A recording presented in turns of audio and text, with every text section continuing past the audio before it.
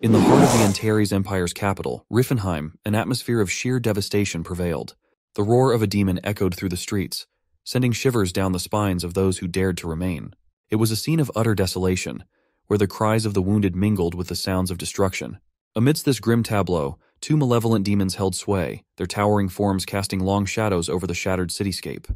A man clad in white armor reported of the defeat suffered by their two million strong military at the hands of the summoned evil demon. Also, Soldier informed of the casualties, with 200,000 lives lost to wide ranging magical attacks and summonings, and 300,000 left wounded. Determined to end the reign of the demonic king, the king in white armor declared that the time had come for the true heroes to vanquish the forces of darkness. His companions acknowledged his leadership with gratitude, addressing him as Majesty. Meanwhile, in the heart of the demonic palace, Gerak, within the Hall of Abyss, hero Alex von Hallen confronted the malevolent ruler seated upon his throne. He declared an end to the Dark Ruler's nefarious deeds and urged a return to the darkness from whence he came. As the heroes stood before him, the emperor of the Antares Empire, known as Demon King Reifenhart Wald Antares, listened silently, reigning in Gyrock's heart within the Hall of Abyss. Sword St. Cyrus spoke boldly, vowing to eliminate the Demon King and put an end to the dark history of the empire. To all this accusations, Demon King Reifenhart expressed his dismay at being dubbed the ruler of a dark empire. He playfully questioned their labeling, pointing out the irony of calling it dark when it actually has a name, Antares. He also reminded them that the sun rises in his empire too. Another figure, Martial King Teslan, accused the Demon King of fostering demons within the empire claiming that their corrupt nature would dissipate with his demise. Demon King Reifenhart pondered inwardly, dismissing the notion of his demons possessing inherently evil traits. He believed they were merely reacting to the mistreatment they had endured from humans because he had taught them merely human tactics. He found it ironic that they were now labeled as corrupt creatures for behaving as humans do.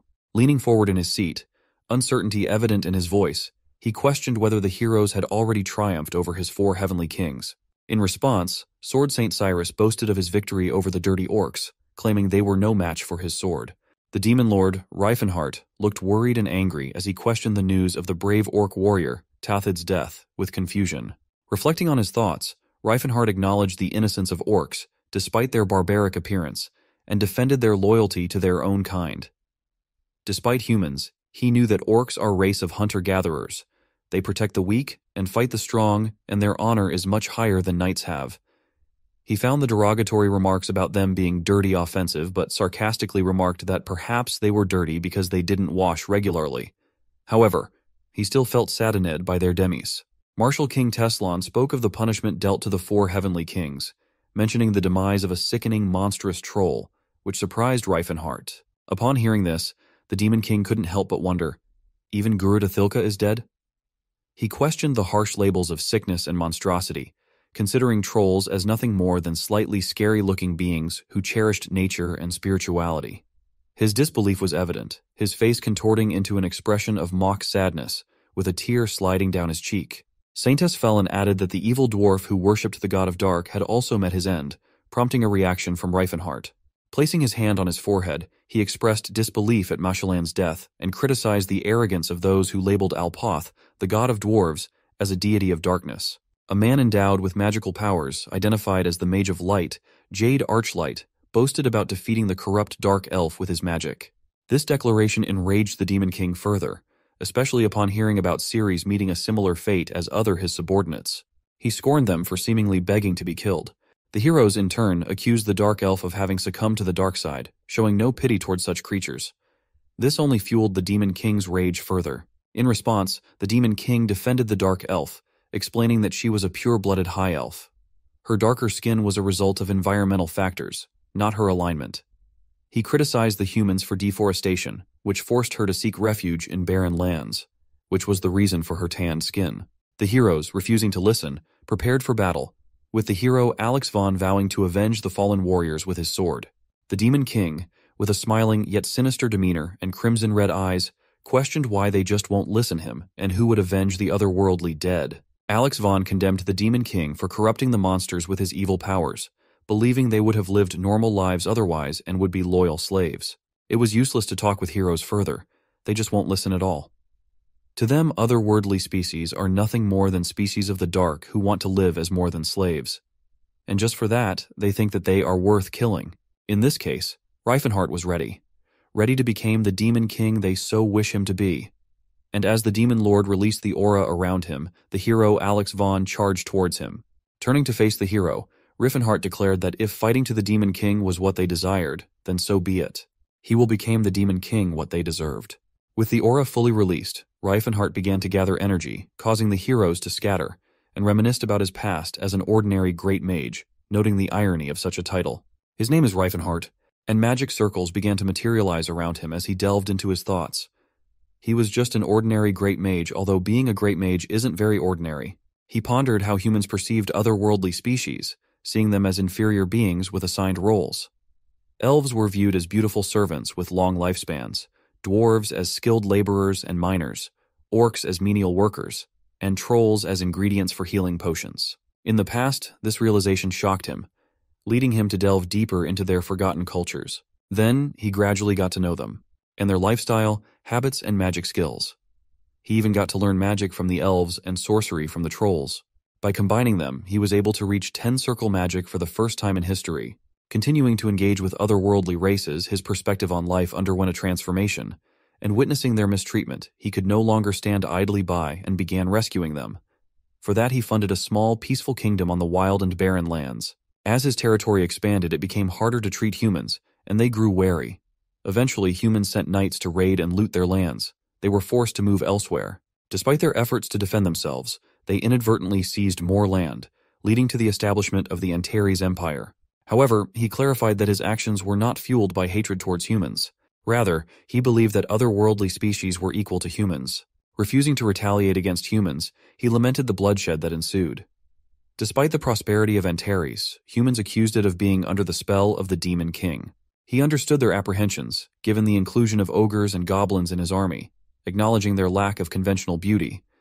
However, he condemned the killing of his people based on such prejudices, deeming it unacceptable. Then, he announced his commitment to safeguarding his empire, stating that if there were laws permitting murder, he would abolish them and implement new ones in their stead. Riefenhart directed his spell towards the hero Alex Vaughn, and he just swiftly flew away, as piece of trash prompting fear among the others. Demon King Reifenhart remarked with a scoff, questioning Alex's proficiency in both swordsmanship and magic, suggesting he hadn't truly mastered either. With a determined expression, Reifenhart reflected that while Alex may be versatile, true strength lies in specialization. He recognized the formidable challenge presented only by Martial King Teslan, whose renowned strength stood out among the others, making them seem comparatively easier to deal with. As the confrontation intensified, only Teslan, who was known for his strong physique, remained standing, ready to face the challenge head on. He launched himself at Reifenhart with full force. Despite Reifenhart's agile attempts to evade his strikes, he couldn't help but notice Teslan's unwavering determination and focused strategy. Even the castle walls were scattered under Teslan's powerful strikes. Despite Riefenhardt's efforts to halt Teslan's relentless assault, the Martial King's attacks persisted from every direction. With determination, Teslan leaped towards Riefenhardt, who attempted to block his advance, but appeared visibly distressed. Asserting their imminent victory, Teslan delivered a decisive blow to Riefenhardt's head. Blood and tears flowed from Riefenhardt's wound as he coughed, remarking that he had blocked the attack with magic. Teslan acknowledged Reifenhart as the leader of the demons, showing respect for his resilience. Reifenhart, resembling a dwarf with blood gushing from his head, inwardly curses his broken spine and imminent demise. Despite his dire situation, he realizes the futility of defeating Teslan. Teslan, emanating energy, declares his intent to pass judgment on Reifenhart, who resigns himself to defeat. Teslan anticipates the liberation of others from demonic influence, prompting Reifenhart to reject the notion of accepting their fate as slaves. Reifenhart realized his defeat, but still he wasn't going to give up. He just couldn't accept that fate of being slave will be the only option for all other worldly races. Fueled by determination, Reifenhart reveals a potent artifact known as the Eye of Time and Space, which he acquired from an ancient ruin. This artifact, possessing formidable magic, remains a mystery even to Reifenhart's advanced magical abilities. Teslan, alarmed by Reifenhardt's actions, demands to know his intentions. Reifenhardt explained the purpose of the artifact, describing it as the time and space regression spell, capable of turning back time and disrupting divine providence. Despite uncertainty about its effectiveness, he proceeded with the spell, confident that he had nothing to lose. Teslan attempted to intervene by charging towards him, but Reifenhardt remained resolute, believing that he could not be killed. As Reifenhardt initiated the spell, The intense light emitted from it overwhelmed both of them. Teslan endeavored to approach within range of the artifact's spell, resulting in a powerful explosion. An energy ball formed and began to expand, emitting a blinding brightness. And everything disappeared. As the light faded away, Reifenhart found himself amidst a forest, nestled inside a cozy wooden house.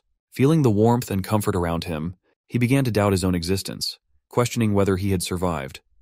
Slowly opening his eyes, he marveled at the possibility of successfully performing the spell, surprised that he had managed to unravel even a small portion of its complexity. Pondering his circumstances, he acknowledged his intellectual prowess, but remained astonished that his endeavor had borne fruit. Struggling to determine his location, he wondered if he had ever been in such a place before. Lost in contemplation, he grappled with uncertainty about his age and his position in the timeline. Examining his physique, he experiences a wave of disbelief and self-doubt. He questions the unfamiliar scars and excessive muscles, finding them distasteful and unnecessary for someone of his profession as a mage. He reflects, finding it peculiar to discuss his own past allure, yet he recalls with a hint of nostalgia how, in his youth, his charm captivated numerous admirers, leaving many enamored.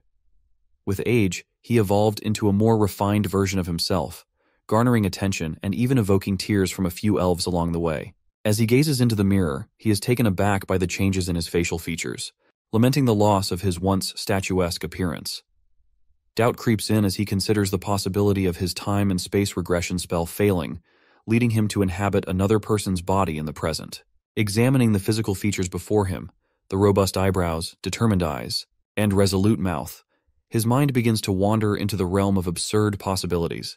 With each characteristic he observes, he envisions the outlandish notion that he might be a previous incarnation of the mighty martial king, Teslan. As new Teslan heard his name called out, he turned to see a large man entering the room, commenting on the time and questioning why Teslan was indoors. Feeling uneasy at the sight of the imposing figure, Reifenhart labeled him as a monster. Perplexed by Teslan's reaction, the man expressed confusion and suggested starting the day positively. Reifenhart, still bewildered, asked who the man was, admitting his lack of recognition with fear evident in his voice. The man, slightly annoyed, reminded Teslan of his past use of amnesia as an excuse, indicating it was no longer acceptable. Taking hold of Teslan's head, the man insisted on heading to the training area, leaving Riffenhart puzzled about the sudden mention of training. Observing the situation, Riefenhart recognizes the person before him as Teslan's teacher, the former Martial King, renowned as the strongest martial artist across the continents, Gerard Crom Proteus. Riefenhart, bound to the trunk of a massive tree, tried to communicate with teacher, but this try was completely failed and he had no idea what is going to happen. However, Gerard swiftly silenced him and proceeded to select a sturdy bamboo staff, indicating the beginning of their training session. Riefenhart, fearful and muffled, watched as Gerard prepared to strike, wondering what a terrible teacher Teslan had. With each blow, Riefenhart felt intense pain, prompting him to question the situation and his own understanding of it. As Gerard continued the rigorous training, Riffenhart couldn't help but fear for his life, his thoughts drifting to a vision of an elf named Cirrus. Meanwhile, Gerard couldn't shake the feeling of unfamiliarity with Teslan's soft hands, wondering if Teslan's amnesia was real. Continuing to deliver blows, Gerard ruminated on the rigorous training regimen of their martial clan Gym Unbreakable, renowned for its simplicity and intensity. Reflecting on his own memory loss in the past, he acknowledged the common occurrence of trainees experiencing short-term memory issues due to the demanding nature of the training. With a knowing smile, Gerard decided that enduring the beating was a simple remedy for Teslan's current predicament. As he intensified the blows, Riefenhart struggled to call for help, silenced by his closed mouth. Gerard persisted in his assault, commenting on humanity's foolish reliance on weapons due to their physical weakness, prompting Riefenhart to question why such reliance was deemed foolish. Gerard's voice boomed as he continued his tirade, addressing Teslan with firm conviction. Dismissing Teslan's protestations as mere excuses, Gerard emphasized the importance of martial artists confronting and overcoming their weaknesses head on. Despite his fear, Reifenhard couldn't help but find Gerard's logic simplistic and foolish, unlike anything he had encountered before. As Gerard relentlessly beat Teslan, shattering staffs in the process, he compared humans to steel, asserting that the more one endures beatings, the stronger they become, much like the hardening process of steel. Annoyed and confused by Gerard's analogy, Riffenhart couldn't comprehend how people could be compared to steel. Picking up another staff, Gerard proclaimed Teslan to be his chosen student, instilling in him the belief that he possessed boundless potential akin to steel. However, Gerard cautioned that not everyone could achieve such physical prowess, likening it to the transformation of high-quality iron into steel, and expressed his faith in Teslan's unique abilities. With each strike of the staff, Gerard imparted his wisdom, drawing parallels between Teslan's inner strength and the vastness of the ocean. Despite Reifenhardt's skepticism, he couldn't help but visualize the vast expanse of the ocean within himself. As the training session came to an end, Gerard instructed our hero to rest. Reifenhardt thanked himself for being so tough. As night fell, Riffenhardt found himself submerged in a tub filled with healing potion, its abundance a stark reminder of the luxury afforded to him. Reflecting on the opulence of the medicinal bath, Reifenhardt couldn't help but compare it to the tales of queens bathing in milk for radiant skin. Turning to Gerard with curiosity, he questioned the purpose of such a medicinal bath, to which Gerard responded with a simple analogy, likening Teslan's body to steel in need of cooling after intense hammering. Despite the physical toll of the training, Riffenhardt found solace in the restorative properties of aura and healing potions, recognizing their role in his rapid recovery and subsequent strengthening of his body. Reflecting on his past encounters with Teslan, Reifenhardt speculated on the Martial King's rigorous training regimen, pondering whether Teslan had undergone similar trials from a young age. Submerging himself further into the potion, Reifenhardt contemplated the nature of his current reality, pondering the existence of a younger version of himself in this timeline. Wrestling with the possibility of sharing a dimension with another soul, Reifenhardt formulated two hypotheses. First, the future Reifenhardt and current one, the one inside Teslan's body, coexist with the young Reifenhardt. And second, in the young Reifenhardt's body is the martial king Teslan's soul. Gerard presented a generous amount of food to our hero, urging him to consume it all to replenish his overworked body. Continuing the workout, Gerard suggested a light jog to aid digestion after the meal. Reifenhardt, struggling to keep up, followed Gerard as they jogged on the steep mountain path. Continuing their morning training, Gerard addressed Teslan, inquiring if he was tired or if they should proceed with their morning training. Our hero, with a single finger push-up, indicated his readiness to continue. Later, he performed sit-ups on a sturdy tree branch of a very tall tree, reflecting on the seemingly endless nature of their demanding training routine. Resting with a fatigued expression, his mind raced with introspective thoughts. He pondered the implications of his reincarnation into the past, contemplating the idea of running away and the potential repercussions on the timeline. Concerns about the convergence of past and present selves occupied his thoughts, with a recognition of the inherent uniqueness of each soul and the risks of their interaction. Reflecting on the delayed emergence of teenage Reifenhardt as a mage, he strategized to avoid any chance of encounters, knowing the boy's focus on academic pursuits at the Delphia Magic Tower. Worries surfaced about the possibility of Teslan assuming control of his body, prompting considerations of their divergent strengths and weaknesses. Aware of Teslan's formidable physical prowess honed through Gym Unbreakable, Reifenhardt reassured himself of his own advantage, confident that his counterpart would require assistance to master such rigorous training methods. As Teslan dashed through the wilderness, a sense of urgency consumed him. Determined to break free from his perceived prison, he reaffirmed his resolve to escape. His mind was consumed by thoughts of running away and about freedom that he wanted so much. Suddenly, Gerard's voice interrupted his frantic thoughts, startling Reifenhardt as he stumbled upon the elder mentor sitting calmly on a stone. Startled by Gerard's sudden appearance, Reifenhardt questioned, When did this monster-like old man stealthily approach me? Gerard, seemingly unfazed by his attempt to flee, remarked on the frequency of Teslan's escape attempts, noting the impending milestone of reaching double digits. Reifenhardt, taken aback, attempted to assert his true identity as Riffenhardt, a mage, only to be met with Gerard's nonchalant response, questioning if this was merely another iteration of Teslan's backstory. Seeing confused Riffenhardt, Gerard reminded him of his previous claims of coming from another world, where he allegedly encountered dragons and gods, which left Riffenhardt even more astonished. Gerard further recounted Teslan's so-called past life as an active master in the Huan Empire on the eastern continent, known as Muram, hinting at a pattern of backstories. With a firm grip on Reifenhardt's head, Gerard acknowledged that his current narrative was more convincing, suggesting progress in his storytelling abilities. Gerard firmly guides him back to his sleeping quarters, despite Reifenhardt's inner frustration at his failed attempt to escape. However, he was still determined to succeed, resolves to try escape again the next day, confident that he won't be trapped forever. However, Gerard catches him once more the following day. And once again, even as he tries to get away through underwater, Gerard catches him again and again. Grabbing him by the head, he drags him back, saying, Fret not, if you wait and endure a bit longer, you will be repaid. Despite Reifenhardt's initial defiance, he eventually resigns himself to the fact that escaping from Gym Unbreakable, known for its stringent security measures, won't be easy. As time passes, Teslan reflects on his futile attempts to flee, realizing the futility of challenging someone as formidable as the martial king, Gerard. Gerard, in turn, highlights the long history of disciples attempting to escape and the futility of such endeavors. Riffenhart contemplates the consequences of attempting to evade capture, acknowledging that even if he were to escape, Gerard's determination would inevitably lead to his recapture. After two years of confinement, Riefenhart finally awakens his dormant aura, breaking free from his chains. This achievement is significant, especially considering his young age. Gerard, witnessing Riefenhart's newfound power, expresses his happiness and attributes it to the rigorous training at Gym Unbreakable. Gerard, holding a spiked club, explains that by combining survival instinct with physical training, one's vitality increases. This heightened vitality, in turn, manifests as aura, providing additional power. He then announces that it's time to move on to the next phase of training, leaving Riefenhart excited about what's to come. However, Gerard surprises him by suggesting sparring training with himself, which instills both shock and fear in Riefenhart.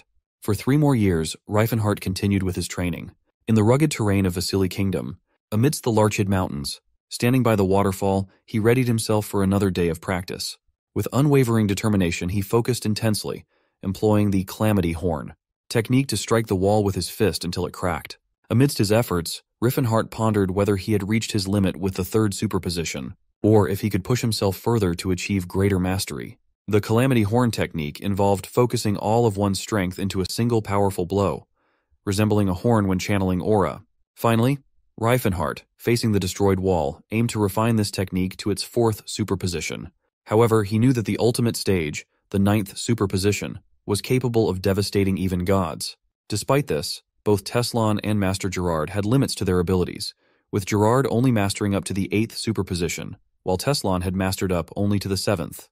Recalling Gerard's advice to reach at least the fourth superposition before descending the mountain, Raifenhart reflected on his former tendencies to seize opportunities to escape even when Gerard was away in the village. Deciding to conclude his stamina training, Teslan attempted a spell called Delphir Lestralum, envisioning it as a bullet made from air to strike his target. Creating a ball of energy between his hands, he launched it towards a tree, calling out the spell name, Arrow Bullet. However, despite his efforts, nothing happened, leaving Teslan frustrated with his body's lack of support. Despite vividly recalling his magical knowledge, he questioned whether his stony body could truly become a mage. Suddenly, Teslan's attention was drawn to a movement nearby, prompting him to turn and observe. To his surprise, he spotted an orc emerging, wielding a sword. As Riffenhart locked eyes with the orc, the creature issued a chilling ultimatum. Human, if you pretend you didn't see me, I'll spare your life. Riffenhart silently assessed the orc before him, estimating his age to be around three or four years old. Wondering if the orc had fled from somewhere like an arena, Reifenhart contemplated his situation. Despite the orc's threat, Reifenhart recognized a sense of pride in the creature's demeanor, suggesting a reluctance towards unnecessary violence among his race. Reifenhart, remaining non-hostile, questioned if someone was pursuing the orc, surprising him with his fluency in their language. Reifenhart explained his ability to communicate as a result of a fateful encounter, leading the orc to acknowledge it as a blessed coincidence. Expressing his willingness to assist, Reifenhart asked if the orc could trust him, prompting the orc to see him as akin to a brother due to their shared understanding of the grace language. The orc perceived Reifenhart's genuine kindness and expressed his concern about the potential danger involved in helping him. Impressed by the orc's articulate speech, Reifenhart pondered whether he came from a noble bloodline. Despite the orc's hesitance, Reifenhart assured him of his ability to provide assistance and proceeded to cast a magical spell to conceal him. Surprised by Riffenhart's magical prowess, the orc questioned if he was a mage, prompting him to ask if it was unusual for him to possess such abilities, while the orc silently doubted Riffenhart's physical form. Gratefully accepting Riffenhart's offer, the orc hid, as he noticed approaching adventurers, one of whom grumbled about the challenges of earning a few silver coins. Approaching Teslan, one man questioned him about a young orc they were searching for. Another man offered a gold coin as incentive. The man expressed skepticism about the offer, suggesting they hear Riffenhart's information first before considering a reward. Riffenhart refused their offer, but one man noticed orc footprints nearby, prompting them to move in that direction. Riffenhart was surprised that his basic magic spell failed to conceal the footprints, realizing its limitations. When Riefenhart asserted that they couldn't enter his dwelling, the adventurers reacted with disbelief, questioning his authority. Noticing Riffenhart's unusual behavior, one of the men remarked on his abnormality. As Riefenhart faced the group of men, one of them attempted to intimidate him by mentioning their large numbers, reassuring him that he shouldn't be afraid. Another member of the group commented on Reifenhardt's physique, acknowledging his physical strength but dismissing him as just a child. Recalling the teachings of his mentor, Gerard, Reifenhardt remembered the caution against the potential lethality of his fists and the importance of showing mercy to weaker opponents. Drawing upon his training, Reifenhardt conjured a weapon from a magic circle, intending to demonstrate its effectiveness without causing fatal harm. Despite Gym Unbreakable's emphasis on unarmed combat, Reifenhardt's actions showcased the presence of weapon techniques within their training regimen. As the adventurers challenged Riefenhardt and threatened to attack, he confidently wielded the club, smiling as he prepared to engage them. With swift and precise movements, Riefenhardt skillfully subdued his opponents, effortlessly overpowering them with the club. More adversaries joined the fray, but Riefenhardt's mastery of the club arts became evident as he deftly struck each opponent, utilizing techniques designed for rigorous disciple training rather than lethal combat. In a sudden move, one of the men sneaked up behind Riefenhardt and struck him with a sword. To everyone's surprise, including Riefenhardt's, the sword bent upon contact with his body. He found himself questioning the very nature of his own body, wondering if what he possessed was truly human. Riefenhardt maintained control of the situation, utilizing the club's offensive capabilities to incapacitate his opponents without causing fatal injuries. As Riefenhardt continued to strike his adversaries, he reassured himself that his blows wouldn't result in death, emphasizing his intention to incapacitate rather than kill. Despite the brutality of his attacks, Riefenhardt's focus remained on ensuring the survival of his opponents, even as bones were shattered and joints broken. With each strike, Reifenhardt remained steadfast in his conviction that his opponents would survive, demonstrating a remarkable level of control and restraint in the midst of combat. Eventually, as the adversaries lay defeated and battered, Riefenhardt turned his attention to the barely standing man, taunting him before commanding the group to leave. Despite their defeat, Reifenhardt allowed the men to depart, demonstrating both his prowess in combat and his capacity for mercy. Grateful for being spared, the men retreated, acknowledging Reifenhardt's superiority in both strength and strategy. Reifenhardt broke the club, signifying the end of the confrontation. He couldn't help but reflect on the recent scuffle with a sense of amusement, finding it enjoyable to overpower his adversaries. However, as he surveyed the broken club in his hand, he began contemplating the idea of taking in disciples and imparting upon them the same rigorous training he had received. Unbeknownst to him, he was subtly being influenced by the philosophy of Gym Unbreakable. Just then, the orc emerged and expressed gratitude towards Riefenhardt, acknowledging him as his savior. The orc pledged to remember this day for the rest of his life and vowed to repay Riefenhardt's kindness. Our hero questioned whether it was appropriate for a warrior to bow so readily, but the orc insisted, explaining the significance of mentors in orc culture, and promising to draw sword for Reifenhardt when the time came.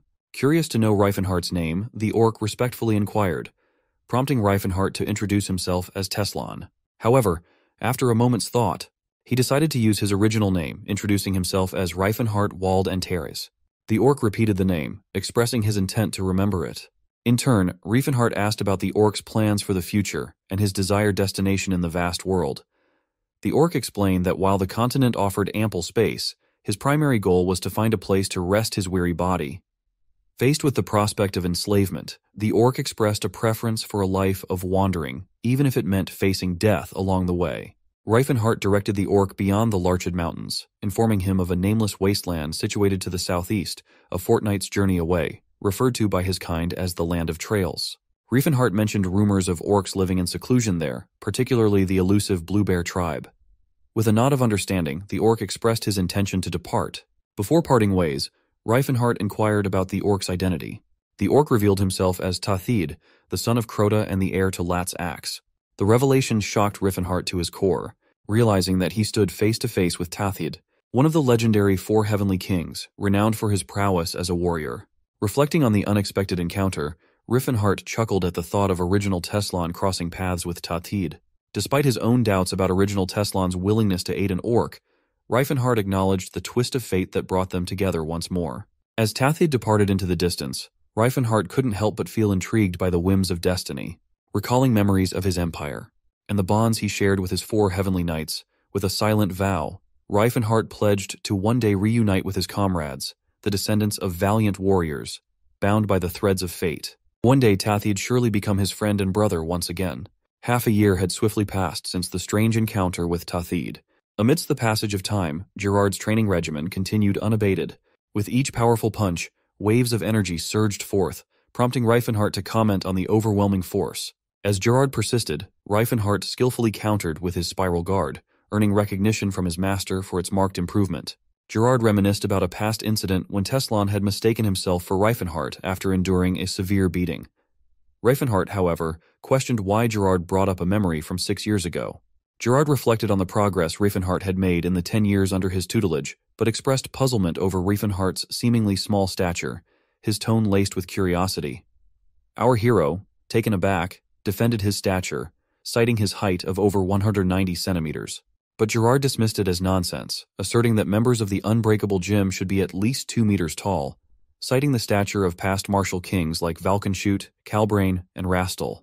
He then inquired about Reifenhart's adherence to the breathing technique he had taught him.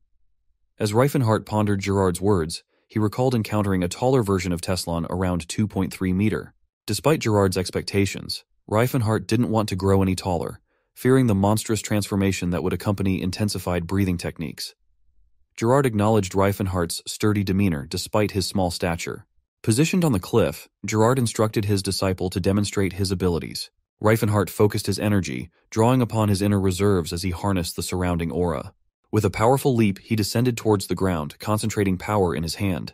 With a forceful punch, he unleashed the fourth superposition calamity horn, shattering the ground and causing water to surge upward.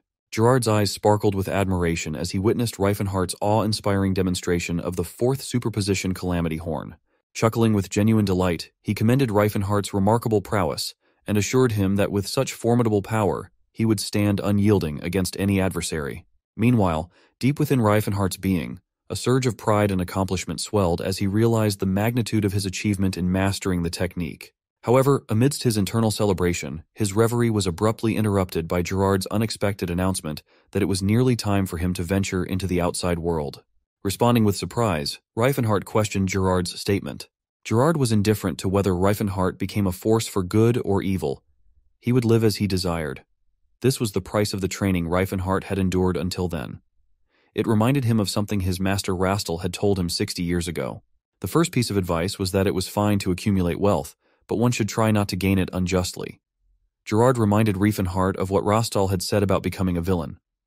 Rastal clarified that he meant if Reifenhart wanted to go down that path, he should at least be a dignified villain with style. The second advice was to stand by the side of the unjustly treated whenever possible aiming to live a life praised and respected. Gerard questioned Rastal's mention of the unjustly treated, wondering if that included the weak.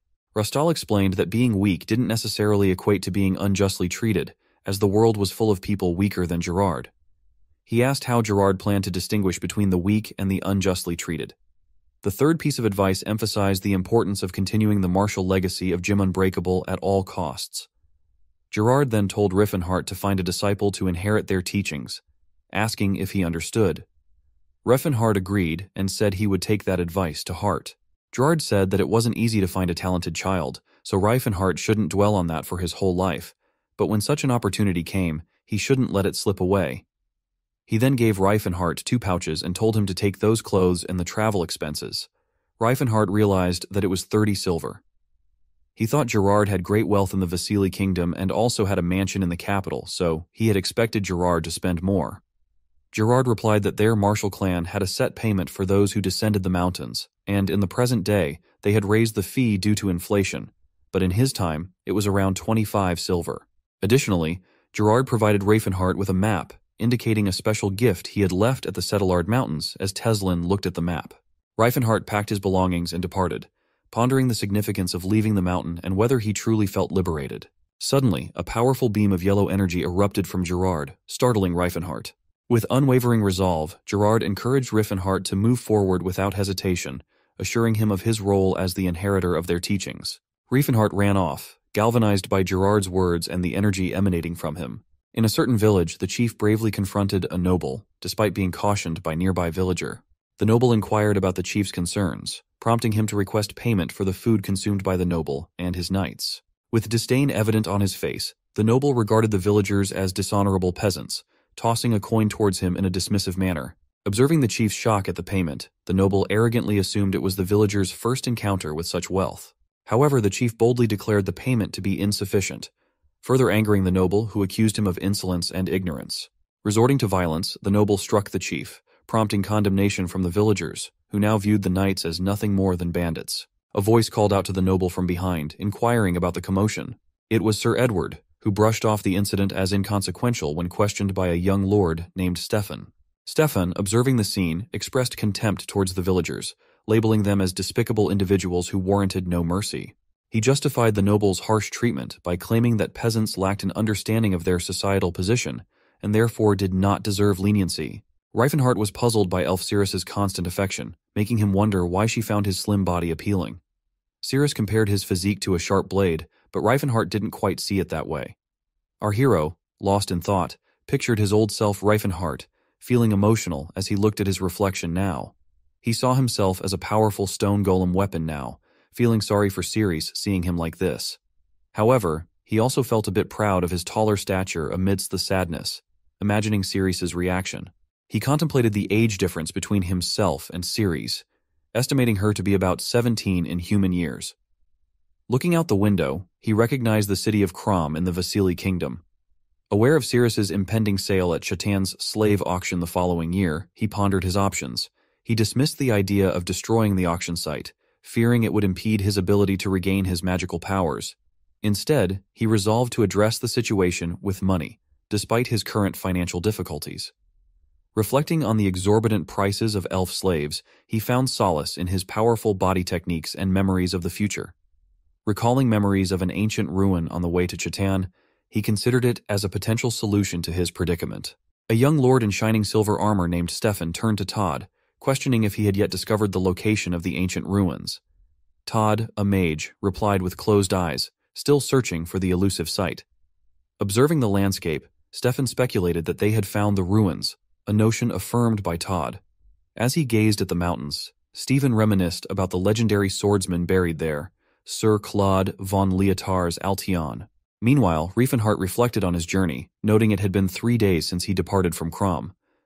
Heading north towards the Hatan Mountains along the Central Road, he marveled at his remarkable stamina and resistance to the cold.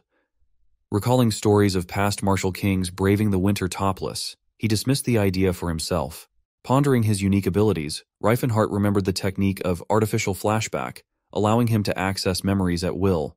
He recollected encountering Todd, a mage from Delphia's Mage Tower, who had shared information about the ruins with the Altians. Reifenhart had explored those ruins in a previous life, discovering treasures overlooked by Todd's party. Reflecting on the profit he had made by selling those treasures, he imagined the wealth it represented. Upon reaching Cattle Village, Reifenhart surveyed the familiar surroundings from above, confirming his memories of the place. A group of villagers gathered, deliberating their next course of action. Concerned voices murmured about the forbidden valley of death, expressing reluctance to venture near it. Despite the danger, they acknowledged the demand for a guide made by nobles, fearing the consequences of refusal. Disdainful remarks were made about the ailing chief because of the demanding nobles. Amidst the discussion, a man named Ted stepped forward, armed with his bow and arrows, volunteering to undertake the journey. The others then turned to Ted, asking if he would join the knights. Ted, feeling confident in his knowledge of the mountains, asserted himself as the best candidate for the task. Despite his own doubts and his wife and daughter silently urged him not to go. However, the villagers continued to persuade him, reminding him of the importance of keeping his word. Ted's reluctance only grew stronger as he witnessed their determination, reinforcing his resolve to avoid the dangerous journey. Suddenly, Riefenhart's voice interrupted from outside, startling the villagers. Ted, alarmed, aimed his arrow at our hero, demanding to know his identity.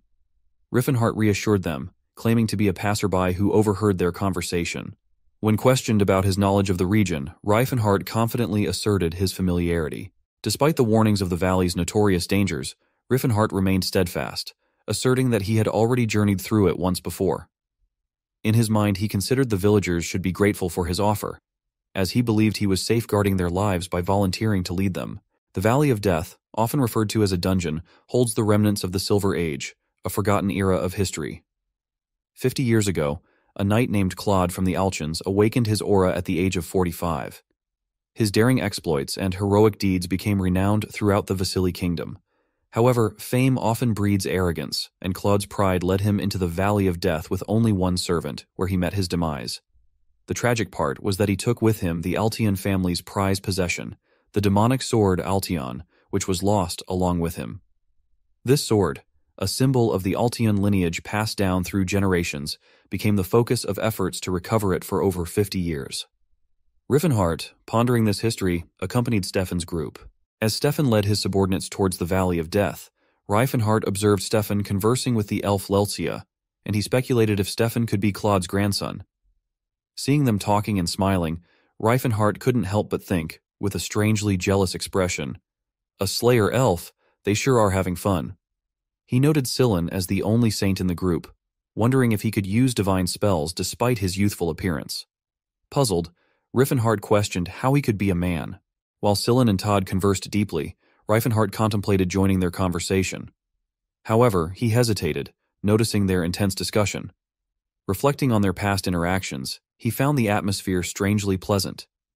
Yet he dismissed any suspicions about Todd, confident in his character. Suddenly, a man named Edward praised Riefenhart's decision to guide the group. Our hero modestly responded, downplaying the significance of his choice. Edward explained that the villagers were too scared to take on the task. Riffenhart remarked that it was understandable for the villagers to be scared. Edward, in an arrogant tone, questioned why they would be afraid when the kingdom's brave knights were with them. Angered by Edward's attitude, Riffenhart thought to himself that knights were often filled with self-importance, believing that chivalry turned them into narcissists. Suddenly, a sound caught their attention, and everyone looked around as something shot into the sky from behind the trees. These were no ordinary creatures. They bore menacing features with white fur, bird-like claws, and sharp, vampire-like teeth, their monstrous forms heralding an ambush. Recognizing the threat, they quickly formed a defensive formation. With determination, they braced themselves as the monstrous creatures closed in on them with menacing intent. As the monsters approached them, an elf condemned their attack, declaring humans blessed by a slayer. Stefan ordered the Altion Knight Order to attack, while Mage Todd used fire magic to burn multiple monsters. St. Sillin cast a spell to boost the soldiers' strength and courage. Observing their actions, Riefenhart thought they performed well, particularly Stefan. However, he reminded himself that his perspective was that of a mage, and from a martial artist's viewpoint, their skills were lacking. Riffenhart reflected on Master Gerard's demeanor, acknowledging that his pride likely stemmed from his considerable skill. Despite this, Riefenhart punched the monsters and killed it swiftly, defending the slaves, as no one was paying attention to him. According to Todd's story, Riefenhart couldn't help but ponder the grim possibility that the fate of the guide could have been death. In the chaos caused by the beasts, Stefan, a leader from the respected Altion family, led the group forward. Riefenhart grappled with conflicting thoughts about Stefan's character whether he is good or bad, recognizing his indifference to their surroundings. As the danger escalated, St. Sillin warned Riefenhart to seek refuge behind a tree, prompting him to find some comfort in Sillin's caution. However, as the monsters unleashed their feathered assault on Riefenhart, he initially shrugged off the attacks, only to be jolted by a sudden strike to his eye, prompting a tear after a very long time. In the heat of the battle, Riefenhart's emotions surfaced, reflecting on the tears from his training as he punched the monster. The sight of Riefenhart's ferocity unnerved the slaves, who watched in awe and fear. After defeating the last of the monsters, Stefan immediately turned his attention to the aftermath, requesting a report on casualties and the safety of the mages and priests. Relief flooded the group upon hearing that they were both unharmed. Riefenhart silently questioned his priorities, pondering whether he genuinely cared about the safety of others. Before he could dwell on it further, Stefan's booming voice broke through the jubilation, proudly proclaiming the strength of the Altion knighthood and urging everyone to enjoy their victory. Despite the outward joy, Riefenhart's doubts continued to nag at him, casting a shadow over the triumphant moment. Meanwhile, Riffenhart took the opportunity to talk with Todd, expressing gratitude for the mage's assistance during the recent ordeal. Todd, however, played down his involvement, considering the incident to be insignificant. Intrigued, Riffenhart mentioned his connection to Delphia's mage tower and brought up his friend. When Todd inquired about the friend's name, our hero mentioned Riefenhart, which sparked Todd's amusement as he puzzled about their relationship. As the conversation continued, Todd's peculiar behavior made our hero uneasy, particularly his fondness for Riffenhart's appearance and personality. He inquired about Riffenhart's well-being, to which Todd replied that he was doing well. Our hero's discomfort grew as Todd shared seemingly harmless details about Riffenhart, leading our hero to question Todd's intentions. Underneath the surface, his frustration had simmered as Todd's fixation on Riefenhart's physical attributes. Caught between disbelief and indignation, Riefenhart had grappled with conflicting impulses, oscillating between the urge to confront Todd and the need to maintain composure. Despite Todd's nonchalant responses, protagonist's unease had intensified, fueling his determination to uncover the truth about Riefenhardt's welfare. St. Sillin arrived in Riefenhardt's vicinity, checking on his well-being. Our hero assured him he was unharmed and redirected his attention to the injured orc slaves nearby. St. Sillin proceeded to administer healing to them, despite their protests that they were not in pain. From behind, someone criticized St. Sillin for expending his energy on the orc slaves, likening them to animals. Observing this, Riefenhardt couldn't help but notice St. Sillin's kindness, yet felt conflicted as he perceived the treatment of the orcs as dogs and cats, less than human. He pondered the deeper issue of societal values and the challenging journey towards recognizing the rights of all beings. Amidst this, Stefan interrupted, urging Riefenhardt to guide the way forward. Our hero, visibly frustrated, provided directions, advising caution near a nearby stream. Stefan remarked on his strange tone, to which Riefenhardt dismissed it as nothing. Several hours later, a soldier noted the presence of various formidable creatures a basilisk, a dire wolf, and then over 20 ogres. Another soldier questioned the abundance of monsters in such a small mountain. Internally, Riefenhardt reflected on the situation, acknowledging that it was a consequence of deviating from the established path and pressing forward recklessly. When asked if Stefan needed rest, he angrily rallied everyone to continue. As Riefenhardt observed the group dynamics, he couldn't help but categorize the different classes knights with their haughty demeanor, clerics bound by solemnity, and mages whom he perceived as narrow minded and thrifty. Yet, he smirked devilishly, acknowledging his own affinity as a mage to the core. He smirked mischievously, knowing he had indeed chosen the quickest route, though not to deliberately inconvenience others. Meanwhile, Stefan, upon recognizing the location where Sir Claude met his end, expressed astonishment at the density of monsters within the seemingly diminutive mountain. Peering down from above, he marveled, could it truly be here? Edward, with certainty, affirmed Stefan's observation, solidifying their arrival at the ancient ruins of Palton. With anticipation, they advanced toward the ancient ruins. As they neared, the ruins revealed themselves in all their ancient grandeur, commanding reverence and awe from those who stood before them. Todd gestured towards the entrance, confirming its location, while Edward reassured Stefan that it was safe to proceed. Stefan rallied the group, preparing them for entry, but Riefenhardt made a decision to remain outside the entrance of the ruins. Stefan, surprised by this choice, questioned Riefenhardt's reasoning, suggesting that his task was complete and he could depart. However, Riefenhardt expressed his dilemma, citing his lack of a means to return to the village alone. Stefan, understanding the predicament, offered assurance, stating that they would ensure Riefenhardt's safety on the journey back as a token of gratitude for his guidance. However, internally, Riefenhardt couldn't help but feel frustrated by this response, questioning why such protection wasn't initially offered without prompting. Stefan emphasized the importance of respecting the wishes of the dormant entity within the ruins. With a unified cry, the group armed themselves and advanced into the depths of the ruins, their mission clear to locate the legendary demonic sword, Altion. As they disappeared into the darkness, Riefenhardt bid them farewell, wishing them luck on their perilous quest. As the group disappeared into the depths of the ruins, Riefenhardt seized the moment to focus on his own task at hand. Amidst the eerie silence, he contemplated the history of the ancient ruins of Palton. In its prime during the Silver Age, it functioned as a logistics base, boasting technology that would be considered miraculous by today's standards. Recognizing its inherent value, Riefenhardt prepared himself for what lay ahead. As he ventured further into the ruins, memories flooded his mind. Recalling past expeditions with Ceres, Riefenhardt reminisced about their encounters within the perilous depths. One particular memory stood out, where Ceres had astutely identified a secret path, earning praise from Riefenhardt as he affectionately referred to her as his guiding goddess. The revelation of a hidden door, bathed in light, was a testament to their combined prowess. Yet amidst these recollections, Riefenhardt couldn't help but entertain more adult thoughts, his mind wandering to moments shared with Ceres in dangerous situations. With a wistful grin, he mused on their bravery in the face of adversity. Returning his focus to the present, Riefenhardt carefully ran his fingers over the weathered carvings on the ancient wall, his mind focused on deciphering the password. Mentally, he sorted through the elements. Libra's left as a base, mixed with aqua and Terra's seal in reverse, right? He muttered, attempting to piece together the puzzle. Despite his initial confidence in having the solution at hand, he soon encountered difficulties. The complexity of the combination, coupled with his limited mana reserves, posed a formidable challenge. With growing frustration, Reifenhart realized that the obstacle extended beyond the intricacies of the password, highlighting the shortcomings of his current physical form. As Reifenhart successfully opened the secret gate, he exclaimed in satisfaction, recognizing his achievement. Reluctant to discard his coat, which he had invested 10 silver coins in, he put it down and consider his next move. Contemplating whether to test his physical abilities, he stretched his muscles only to be interrupted by strange noises nearby. Confused by the unexpected sound, Reifenhart pondered why screams were emanating from the direction where his knights group had ventured. His gaze shifted to the stairs leading downwards, prompting a realization.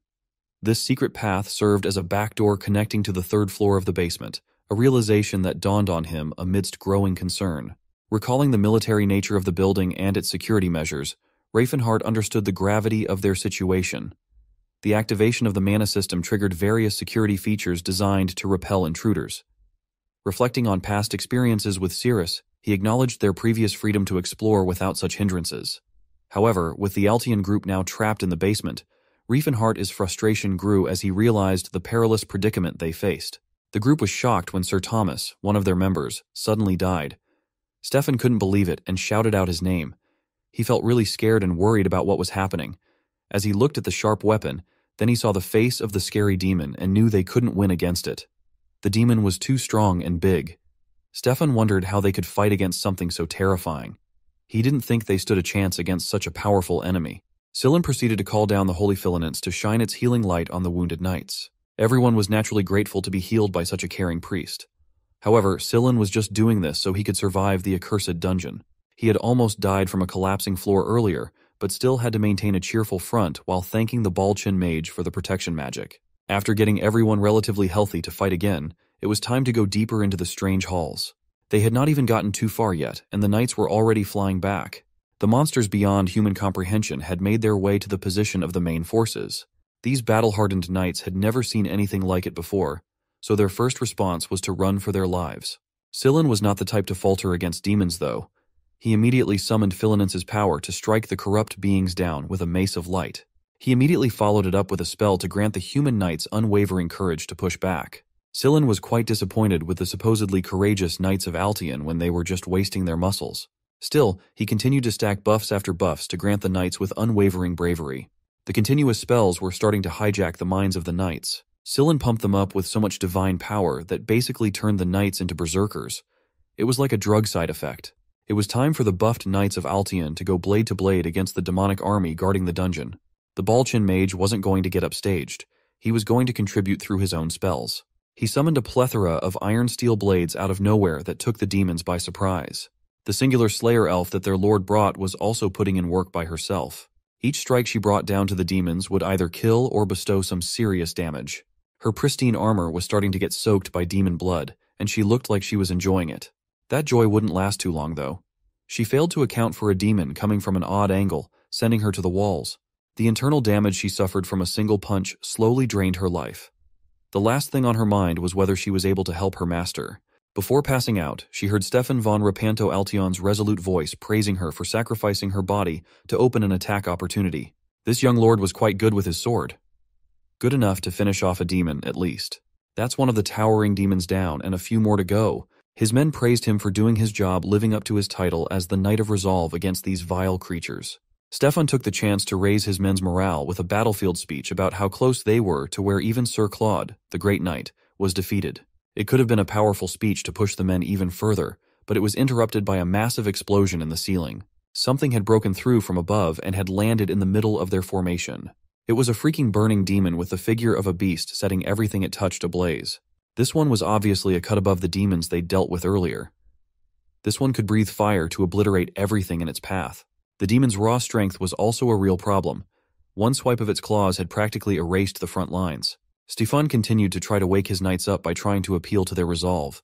The brave knights of Altian took pride in their resolve. But this time was different. Resolve could only take you so far when a flaming demonic beast was rampaging through their ranks. Even Stefan himself wasn't exempt from the heat that the enemy brought. He could only curse at himself. They hadn't even seen the demonic sword and were already on the brink of getting wiped out. The pride that the young lord had as a knight and as a noble was giving him a hard time processing this hopeless situation. He was supposed to be the man who would uphold the name of Altian for years to come. He was supposed to be the knight who earned the title of Resolute. With every bit of courage and resolve in his body, Stefan unleashed a shooting strike that pierced through the demon's shoulder. That puny attack with his weak-ass blade just earned him a quick counterpunch straight to the face. The flaming demon was not messing around. You mess with the bull, you better prepare for the horns, the claws, and everything else.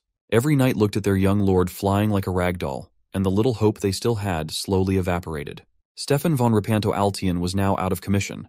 Just because the leader was out like a light didn't mean that everyone else should give up. Sillin didn't mind the young brat's fall. He was doing his own thing with his holy spells. The holy light of Philinance was quite effective in dealing with demonic creatures. His spell almost caved the demon's head. It was powerful, but it wasn't powerful enough for a knockout. The only thing that it did was anger the blazing demon and turn its attention to the pretty boy priest. It exploded from where it was standing to get into kill range. Sillin was helplessly frozen in fear.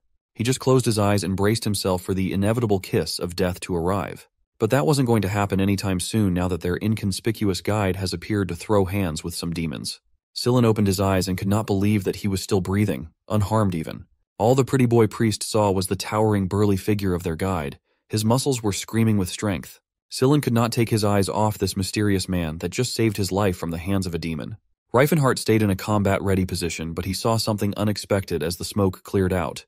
It turned out that it only takes one punch to kill a demon that was practically wiping out an entire army earlier. Riffenhart finally understood why he almost died after taking one punch from Master Teslan in the past. Now that the situation has settled quite a bit, Riefenhart checked on the current status of this small army. Seeing the poor condition of everyone, he decided to move these people to a safe area for now. It looks like that wouldn't be too simple, though. A few undead stragglers were still pouring out of that creepy hall of horrors. Todd and Sillin were both flabbergasted. They couldn't help but question who this martial god was. The first person that Reifenhart prioritized to rescue was the Slayer elf in critical condition, while muscling his way through the sea of undead. After a few minutes, the young lord woke up with a severe headache, not knowing what in the world happened after he was knocked out. He was greeted by the sight of fully recovered knights and undead corpses littering the ground. When he asked his officer what happened, the man couldn't quite put it into words either. Upon receiving a detailed account of what happened when everything was practically hopeless, the young lord could not believe what he was hearing. Now he knows that the person they took as a guide was a martial artist in disguise. Stefan went up to Riffenhart with a change of tone and respectfully asked what his name was. He almost revealed his full name, but thankfully stopped himself at Rifen. That Todd fella knows the Reifenhart in the Mage Tower after all.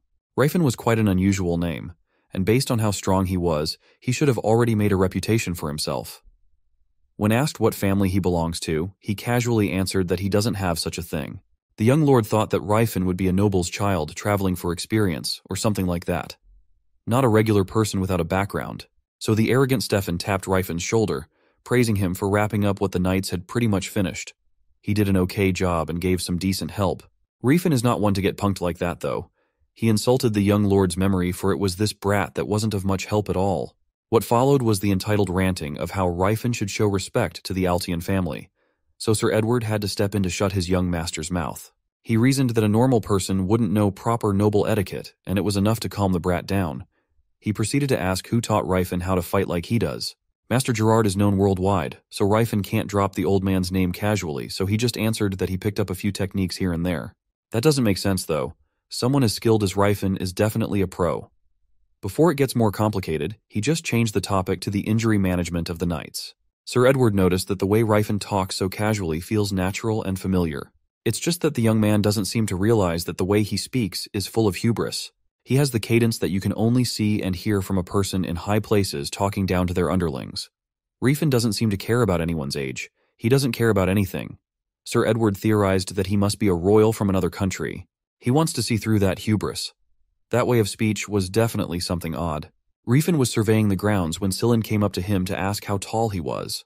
When he answered that he hovers around 192 centimeters, Sillin's eyes started sparkling while continuing to ask about his weight. He continued to ask what training Ryfen did to have such a magnificent body. His answer was just to get hit, eat, and lift a lot. Sillin Philmarsis is a priest who's obsessed with martial artists and their bodies. He lost his parents early and was raised in the orphanage, often picked on for being weak and pretty looking. Maybe it was because of this that he started to long for what he did not have a healthy body and a deep voice. At one point, he even dreamed of becoming a monk who proved their devotion through their body. But the reality was harsh. His height didn't change, and puberty never came. He also grew his hair really fast. Despite his weak body, he tried weight training, but the only result was an increase in divine power due to using healing spells on himself during training. As such, he started looking up to people with muscular builds. He hasn't seen someone so big and beautiful like Ryfin. Young Ryfin was starting to get overwhelmed by this guy's gaze. To get out of this interaction, he decided to go ahead and scout the exit, but Sillin wanted to tag along. He admonished the priest for not thinking about the possibility of someone getting injured while the healer wasn't around. Hearing that, Stefan proposed to go with Ryfin instead while Slayer Elf Lelchia would stay in this base camp to help out. The young lord asked him if it'd be fine, and Ryfin told him to do as he pleased. So, the unlikely duo went ahead to scout for the exit in the halls of the dungeon. Stefan thinks that this country bumpkin should be feeling proud of aiding him, but the fact that he's doing whatever he wants is evidence that Ryfin is looking down on the knights. The young lord just wanted a demon to appear so he could showcase his skills and put Ryfin in his place. Just as he was praying for a demon to come out soon, he felt his vision turning black. Ryfin is almost at his destination, so it's about time for the young lord to take a nap. The undead horde has just arrived in time to get wiped out without the interference of the arrogant young master. These monsters are either hungry for flesh or they just want to kill for the fun of it. They looked fearsome, but each one would burst into mist with just a single punch from Ryfin. After taking care of the pesky hindrances, it's time to have a look at the treasures in this area. First up is a room filled with shelves of books and treasures behind a stone gate. Ryfin picked up a few 50 loose gold coins from the Silver Age, but his main target should be around the same shelf somewhere. After a few moments of rummaging, he finally found it the Limitless Bag. A magic tool that stores up to 10 times its normal capacity.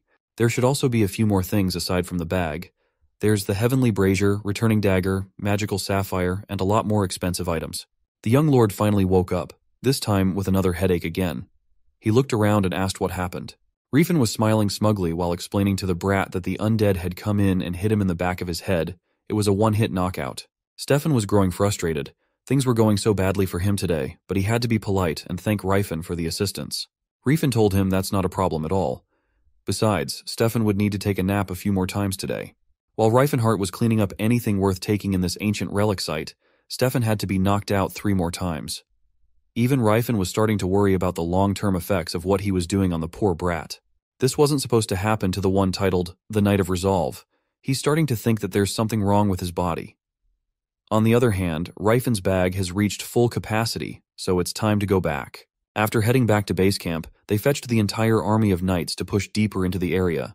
Sillin continued with his fascinating interview, asking Ryfin if he's a royal, but he just kept on insisting that he's just a regular citizen. The priest has also noticed his odd way of talking down to people like a monarch would.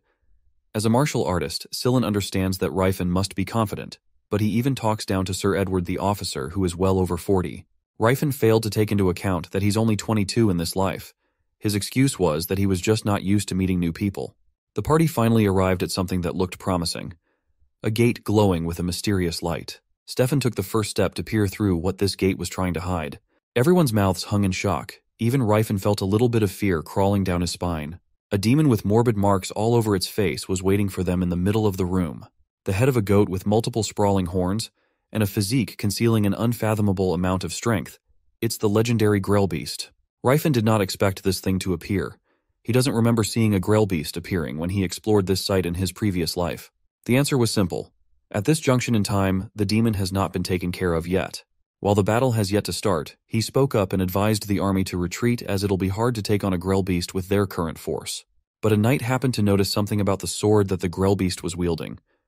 Stefan looked at the blade with desire and certainty. That's the demonic sword Alchion, the exact thing that they were looking for. Sir Edward was rightfully worried that the young master would get blinded by greed and would force a fight against the demon. He tried to convince the brat that it was too dangerous, that they should go back to the family and prepare first now that they know what they're up against. But the brat has made up his mind. He can't bear to see the sword of a great knight at the hands of a dirty beast. Stefan had already steeled his resolve to reclaim that blade, even if it meant facing the Grim Reaper himself. He raised his sword, and his injured knights raised their swords with their lord. Ryfin looked at their dumbasses. They don't even know that they're practically marching to certain death. Within the dimensional cracks of these Silver Age ruins, there's a system designed to automatically compensate for the system's weaknesses.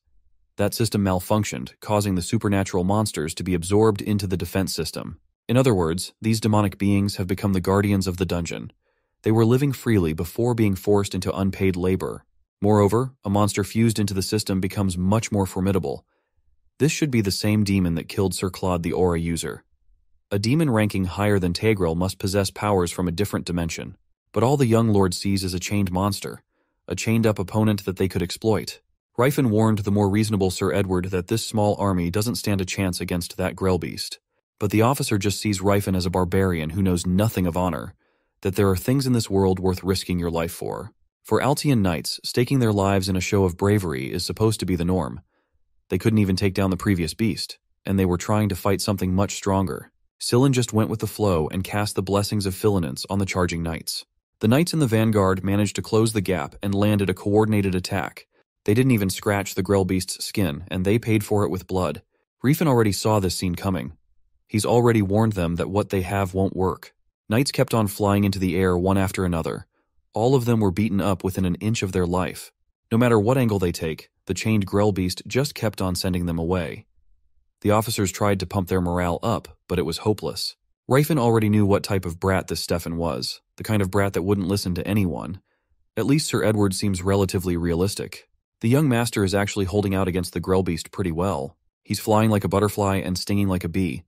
But his bee stings are just making petty scratches. Sillin has been quite diligent with his spells, though. Holy Philinance has brought down its holy mace upon the evil creature. The light of his magic enveloped the beast as it seemed to be affected by the divine spell. He even brought out his best JoJo pose while summoning an apparition to unleash the holy mace of Philinance. Due to his attribute advantage against demonic creatures, his spells packed quite a punch. Next came the Slayer elf Lelchia and her trusty blade. She intends to capitalize on the stun effect of the divine spells. She and her master unleashed a coordinated attack that actually managed to cut relatively deep into the monster. Even Ryfin had to admit that Lelcia was pretty skilled. She's even better than that veteran Sir Edward. She's the real number two of this group. Just as he was thinking that he might have underestimated this small army, the Balchin mage started priming his Blizzard Storm spell. It conjured a whirlwind that freezes everything in its path. The system had seemingly sensed that the Grell Beast was in trouble, so it started kicking up the juice to another level. An automatic sequence was triggered, transitioning the defense system to Phase 2 as it injected even more power into the Grell Beast. This was what Ryfin feared. The increased power of the system was too much for the Knights of Altion. The Grell Beast was pumped up with so much juice that it was able to break free from being chained up. It used its speed and sheer force to trample over the injured knights mercilessly. With the rate that it was killing people left and right, the small army could be wiped out in just a few moments. But the young master doesn't seem to get it yet. He still thinks that his puny swordsmanship could take the life of a juiced-up Grell Beast. His pride and arrogance cost him another borderline fatal wound before landing an attack. The chivalry and honor that he kept on peddling were erased in the face of excruciating pain. Sir Edward saw his young master getting trashed and immediately went after his flying body. It looks like Stefan has been injured quite heavily, but he's safe. Lelcia the Slayer Elf immediately went to her master's side to protect him from any more attacks. Maybe with her skill and swordsmanship, she could stand a chance against the fearsome monstrosity. She could practically glide and jump in midair with full control of her body. No wonder Ryfin acknowledges her skills. But it looks like fancy movement techniques are useless in the face of real indomitable strength as the creature battered her midair. She gritted her teeth in pain from the internal injuries that the Grell beast dished out. And it wasn't done yet. Now that she's a vulnerable target, it's about time to finish the Slayer off with a flaming breath. The demonic creature released an attack that would surely burn down everything in its path. It wasn't just Lelsha who was affected. Every knight in the background also had to run for their life. But for most, that's easier said than done. Their numbers were dwindling, and the Grell beast was still going on a rampage. The flames even burned through the area near Sillin, putting the priest in harm's way. Its blaze was almost upon him. His eyes lit up with the color of a relentless inferno. Just as he was about to get burnt to a crisp, the muscular frame of Mr. Ryfin saved the pretty boy priest from certain death once again. He swiped away the unrelenting blaze like it was nothing at all. As the scattered scorching attack was redirected to the walls, Ryfin even apologized for reacting so late. The floor has been cleared of any wandering knights. It's time for Ryfin to take over the reins of this battle. With his current power, he was still skeptical whether he could solo something as powerful as this juiced-up Grellbeast. If he's being completely honest, he's been curious about just what the limits of his full power right now are. He wanted to know if the martial ability of his current body could handle that demon. Back when he was a mage, he would have never gambled when there was no chance of winning. But it's different now. He has become a warrior. He can now feel the thrill of going toe-to-toe -to -toe with a strong opponent. A sensation that he could have never experienced in his past life, he has truly come a long way as a martial warrior. Master Gerard would be proud. That old man always told him that when in doubt, strike first. That's exactly why he opened up with two piercing key bullets. Grellbeast tried to counterattack out of frustration, but Ryfin easily dodged with a lean back. His body could deflect a steel sword, but the demonic sword that this monster was wielding could leave a scratch. He also failed to take the unpredictability of this demon's movements. Ryfin was caught off guard, and that gave the enemy the opportunity to land another attack.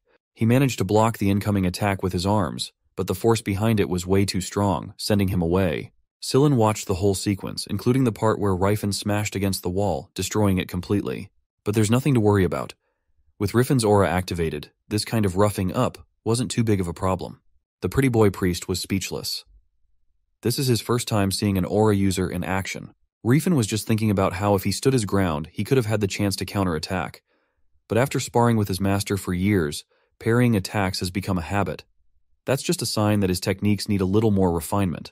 The Grellbeast roared at him using demonic language. Ryfin doesn't understand, but he's willing to go for another round of combat. A demonic beast and a martial warrior exchanged blow after blow. Both were not willing to give space for one another. The young lord was finally seeing how true powerhouses collide. He couldn't even fathom how a country bumpkin was using aura. A lowborn with no honor and family was wielding aura, something that a noble among nobles like Stefan hasn't manifested yet. And Ryfin was using it so effortlessly. The bratty young lord was starting to feel his view of the world crumble. He couldn't take his eyes away from such a glorious display of technique and power. A monster that has nearly wiped out his army is roaring in pain from being pushed back by this mysterious man. The frightening question in Stefan's mind was who on earth was this guy, and where the hell did he come from? He refused to believe that this was an ordinary citizen. That Ryfin guy is nothing short of a monster. Grellbeast tried to strike our hero with his sword in a rage, but he was able to dodge it without any problems. During the battle with the monster, Ryfin could feel how incredible were the things he had learned about during this time. Right now, he could easily see all of Grellbeast's stupid attacks. In the very next instant, he had already dealt a crushing blow to the monster. His attack was far beyond what the knights present here could do, who couldn't even scratch this creature. However, it wasn't that simple with this monster. Guardians of the Ruins don't die even after being seriously wounded. The reason for this is quite simple.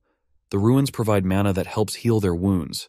Simply put, inside the ruins, they were very strong, and if of high level, they were almost invincible. After a couple of moments, Grellbeast had already recovered and was ready to continue fighting with even more fury. He concentrated an incredible amount of energy in his mouth, and then he immediately attacked. But our hero was able to dodge this attack as well. Taking advantage of the fact that the monster still hadn't recovered from the attack, he grabbed its arm. This technique was called joint lock practice. It was followed by an air battle practice that went straight for the creature's jaw. But even that wasn't the end. Strike technique practice, that was really exciting. And Ryfin was truly happy. For the first time in a long time, he could freely try out his powers without the risk of being killed to death by his teacher. However, even this opponent was still only a sandbag to him. At the same time, the other surviving knights were watching this epic battle with shock. It was unbelievable that a human was able to stand alone against such a terrifying monster. Our hero had no more time to play with Grellbeast, but if he wanted to end things quickly, he would have to use the Horn of Calamity to do so. The problem was that if he used it, the place would surely collapse and everyone here would be buried alive. The extra baggage was really annoying. As he continued to ponder what he was supposed to do, Todd called out to him. He suggested him to swing his sword. According to him, he could defeat the monster if a divine spell worked on the aura-covered sword. Ryfin was well aware of this himself, he answered him that he didn't know how to cover his weapon with aura, but Todd didn't seem to hear his answer and asked him what he was talking about. Our hero irritatedly said that he only knew how to use the aura on his own body. Todd couldn't believe it. However, it wasn't the Ryfin's fault. The problem was that this was his martial art. But suddenly, our hero was called out by Sillin. It seemed like he was up to something. He decided to check with Ryfin to see if his body really had high strength. While continuing to fight Grellbeast at the same time, our hero replied that it was. His answer satisfied Sillin quite well. The very next moment he began to cast some kind of spell. As soon as he finished, he directed it at Ryfin, and as it turned out, it was really effective.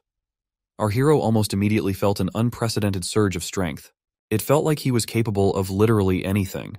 Grabbing the unsuspecting Grell beast by the arms, he threw him over himself and slammed him against the wall with all his might. As soon as he came to his senses, he couldn't help but notice that the guy's divine spells were truly amazing he was able to cast a enhancement spell that would normally be cast on a weapon, on another person's body. It was truly amazing. Seeing the success, Sillin smiled brightly and said that now they should beat that damn demon to death. Ryfin was a bit shocked at the contrast of someone so beautiful having such a crazy personality. However, there was no time to think about that at all. As long as the holy spell was in effect, he had to finish off the monster. In an instant, he was in front of Grellbeast and struck it using Divine Kick. This was followed by a Divine Knee. In short, Ryfin mercilessly continued to beat up the monster. But these were no longer the same punches as before. Enhanced by the Divine Spell, they carried a monstrous destructive power. At the end of it all was the Divine Punch. It was the final surprise that our hero had prepared for Grellbeast. A purple beam of light pierced through the monster. In an instant, the monster was torn in half.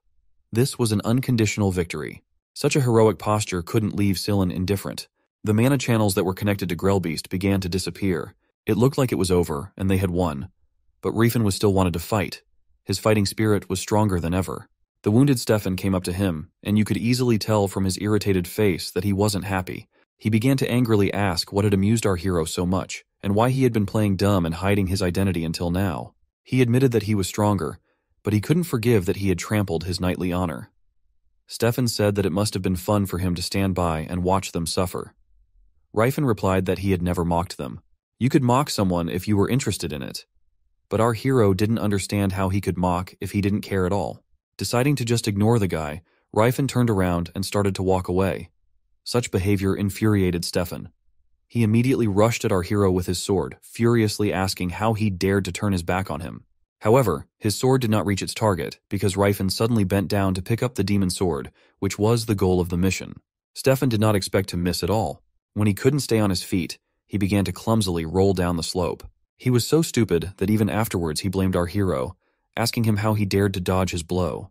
But despite his insolence, Ryfin did not respond in kind. Holding out the sword to Stefan, he again said that he had never thought of mocking him. Besides, wasn't this sword what all the fuss was about? Sir Edward was impressed by such a noble act on the part of our hero. The lack of greed in the presence of something so valuable, that was the real strength in his opinion. Stefan got what he wanted, but he wasn't happy about it. He realized that he had been humiliated, and he couldn't accept it. As for Ryfin and why he didn't take his sword, the real reason was that it was only a second-class weapon compared to what he had in his previous life. So the mission was accomplished, and they got what they wanted. Our hero offered to go back. Everyone eagerly supported this proposal, while the angry Stefan continued to hold his precious weapon, which could not make up for his trampled pride. The road back passed without incident, and they managed to make their way back to the village of cattle. Upon their return, Sillin healed several of the villagers. Watching him also hand out gold coins to the villagers, Ryfin noted that he knew how to do business. For such a small price, raising the villagers' trust in the Filanit's holy order was clearly a great idea.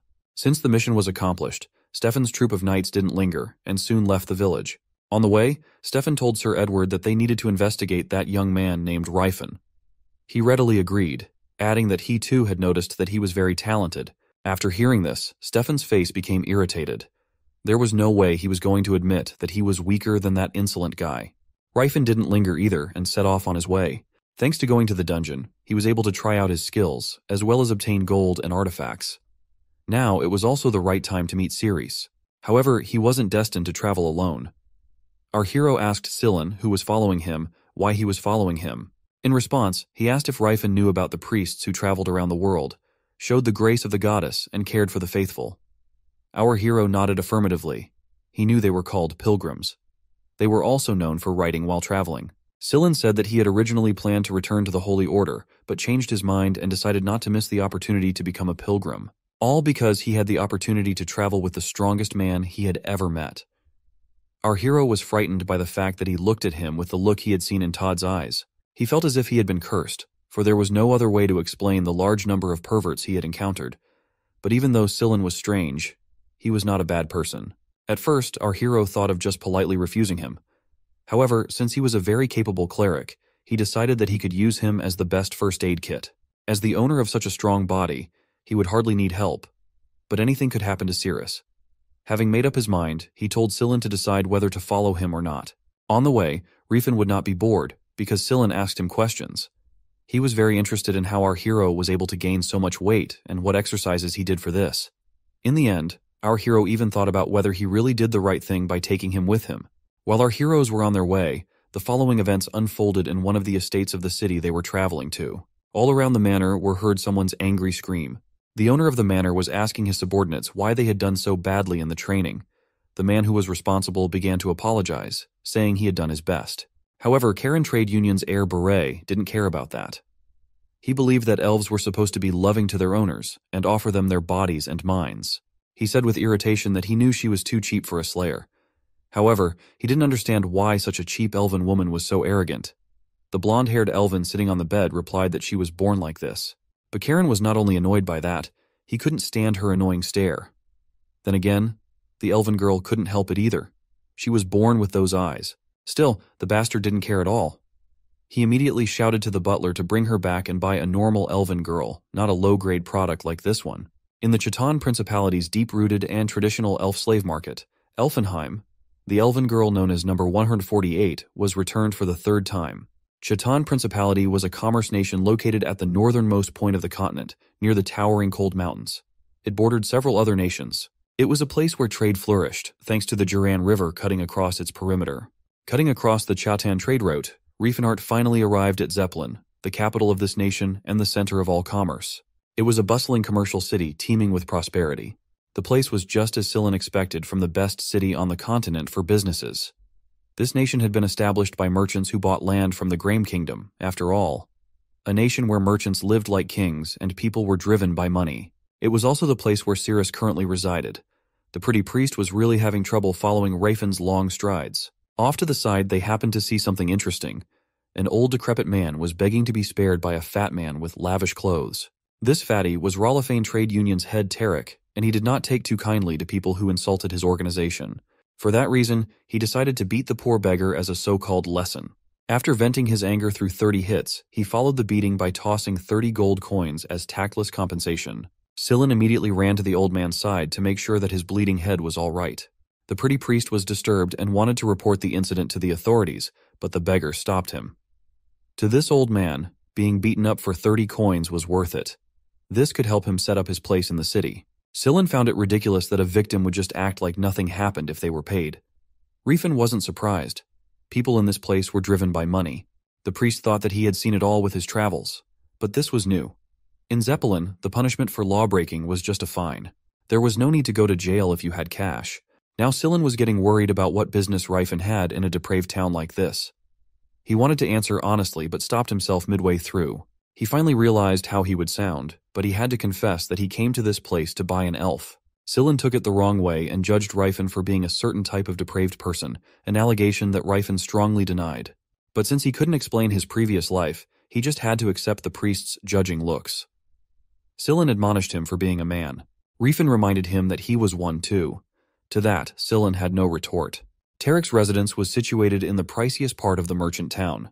He was currently cursing other merchants for accusing his Rolifane trade union of ripping them off when they should be working harder instead. A beautiful elf was by his side to pacify and agree to anything. There were actually multiple slave elves servicing the disgusting fatty at the moment. That's when he spotted his old friend, Beret. The fat bastard asked the piece of crap what happened to the slayer he bought recently. Beret answered that he couldn't make the slayer listen, so she returned about two weeks ago. Tarek was quite amused that this guy couldn't even domesticate an elf slave, he thought it was emblematic of why Beret's Karen Trade Union couldn't get into the top 10. Beret tried to justify that there were a lot of people who returned the defective slave too, and that's why she was so cheap. The fat bastard was already thinking about what face this Beret would make if he managed to tame the untamable elf and decided to get to Elfenheim later. In the center of Zeppelin, the Riefen and Sillin duo decided to stay at a massive inn. When Riefen entered the room, he saw something extremely odd. Sillin was trying and struggling to work out, his skinny frame was in full display. If he tried this hard regularly, it didn't make sense that he still had no muscle mass.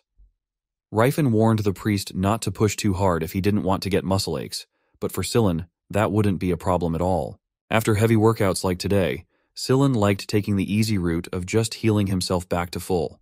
From a sweaty mess, he went back to being a refreshed pretty boy in just a few seconds. Riefen finally understood why this kid worked so hard without even gaining any muscle. Healing magic was similar to a spell that turned back time, Muscles were supposed to be trained by stretching, destroying, and regenerating them. Using a heal spell would just take him back to the state before he began exerting himself. So, this foolish pretty priest had been wasting his time. Seeing the look on his face, Sillin asked if something was wrong. Riefen just decided to teach him a more effective training method later. He also asked if the long hair became annoying when Sillin worked out. But even if the priest cut it, it just grew back really fast, and there was a belief that hair grew fast the more you thought of lewd thoughts. Anyway, Ryfin had enough money now after trading the treasures from before. It was about time to hit the slave auction, so Sillin also grabbed his garb to tag along. Various kinds of slaves were sold at this auction. The most popular ones were naturally the elves. They had a higher value than orcs, dwarves, or any other races because of their unparalleled beauty. That fact also inflated their prices, making them much more expensive than other slaves. A slayer went for around 800 gold coins. A female elf could fetch 300 gold coins, a young female elf for 100, and a young male elf for 30. A competent orc swordsman went for 10 gold coins, orc slaves were worth 5, and baby orcs fetched about the same. Male elves had no demand because of their sky-high suicide rate. Another reason for the popularity of elves was their long lifespans but that also meant that they stayed in the adolescent stages much longer.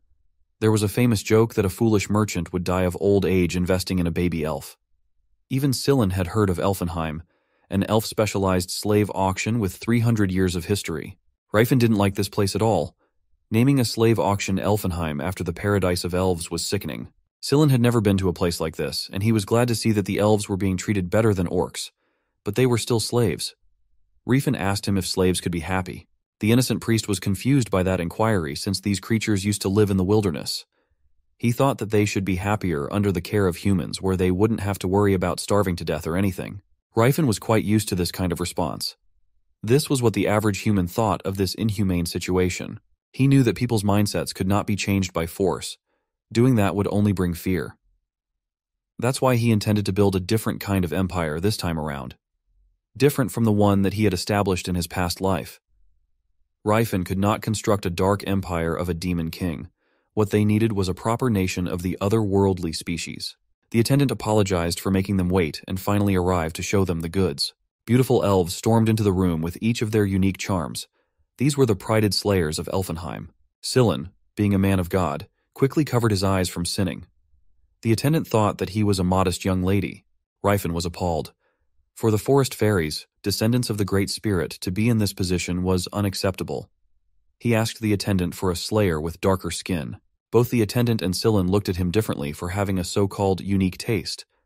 The pretty priest even admonished him for going all through that slavery is bad lecture only to ask for a special request. The sleazy attendant confirmed that they had one slayer that fit the description, but he was hesitant to show her to Ryfin. In the end, they had to exit the main lobby and walk deeper into the facilities. There were elves outside in the sun practicing their mandated exercise. Elfenheim had their specialized method to make sure that they had top quality merchandise. They even fed these girls fresh vegetables, fruits, and nuts. Elves raised on high quality food emitted a pleasant smell. There were many cases of malnourished elves, but Elfenheim prided themselves on not having that issue. Hearing all that sick drivel just angered Ryfin. he asserted to just be taken to the elf. The attendant felt a crushing pressure for a moment, fearing the burly young man. They went to a gated part of the establishment to see number 148. In this room were the Slayer candidates who had yet to grow fully. This was a place where they honed their skills. The dark-skinned elf that Ryfin was looking for was just over there in the middle of the chaotic training ground. Laying eyes on the love of his life in such a state brought tears to the previous Demon King's eyes. Her grit and determination were still unwavering in battle. Even with tattered clothes, small wounds, and scratches all over her body, Ryfin was still smitten by her regal beauty. It was her. It was Cirrus. After a long journey to Zeppelin, he could finally reunite with his partner. Seeing her again brought Ryfin back to the memories of his past lives spent in their laboratory. The beautiful Ceres was always by his side to reel him in when he went a little crazy with his wild experiments. But even if he failed and destroyed the whole lab by mixing a fire plant with a seed rock, Cirrus never got mad. She just apologized for going a little overboard, even though she made the same excuse the previous times. Ceres just couldn't stay annoyed at him for too long. She found him too cute, even in his old age. She would always be there to clean him up and help him stand again. With all the years they'd spent together, Cirrus still insisted on calling him Sir Ryfenhart instead of addressing him casually. That was one thing that Cirrus couldn't do. When asked why, she would just respond with a meaningful smile. Before they knew it, the kingdom they built was already on the brink of destruction. Riffenhart looked at Antares burning to the ground with a somber expression. Riffenhart's four heavenly kings kneeled before him, awaiting their instructions on how to deal with this situation. The orc chieftain Tathid broke the silence to give his final regards to his lord. Athilka, Macheline, and Cirrus stayed silent, however. Ryfin teased that they looked like this was their first time seeing someone on the verge of death. The whole continent had gathered troops totaling two million to take down the Demon King, the nemesis of humanity. This was humanity in full force. Emperor Ravenheart Valden Terras couldn't help but wonder why humans were planning to ruin their countries just for one battle. They were so blinded that they could not accept the independence of other races. Tathid tried to plead for his lord to join them in escaping, but they could only get to safety if Ryfin held the fort. He apologized to the god of dwarves, Alpoth, for still ending up in this position with a godly guarantee. But Machelin insisted that he shouldn't. The dwarven oracle foretold Reifenhardt's arrival with an elf and orc by his side on the way to the abyss of Daiman. He was supposed to be the one to tear down the pillar of Hokril, the person who would bestow the dwarf's salvation. Reifenhardt still couldn't believe that the dwarves had taken him as their savior back then. The old dwarf still believed that with Alpoth's blessing, all of them would reunite again. But for now, it was time to say farewell to each other. Once everyone finally took their leave to escape the incoming human army, Cirrus stayed behind. She insisted that she would be waiting for Sir Reifenhardt. Ryfin asserted that fate was something unknowable, so if something were to happen to him, he hoped that Cirrus could find someone nice. He tried to convince her that the situation was hopeless, but she strongly swore that she would be waiting for him no matter what. For a moment, the two exchanged meaningful glances. They had shared mutual love for all the years they'd been together, and there was nothing that could break that. Above the fire of the burning Antares Empire, the Demon King, and the love of his life shared one final kiss before tragedy struck. Rivenhart snapped back into reality with the attendant explaining that he felt bad showing this elf to customers because she was defective and uneducated. She might have the skills, but her personality was irredeemable.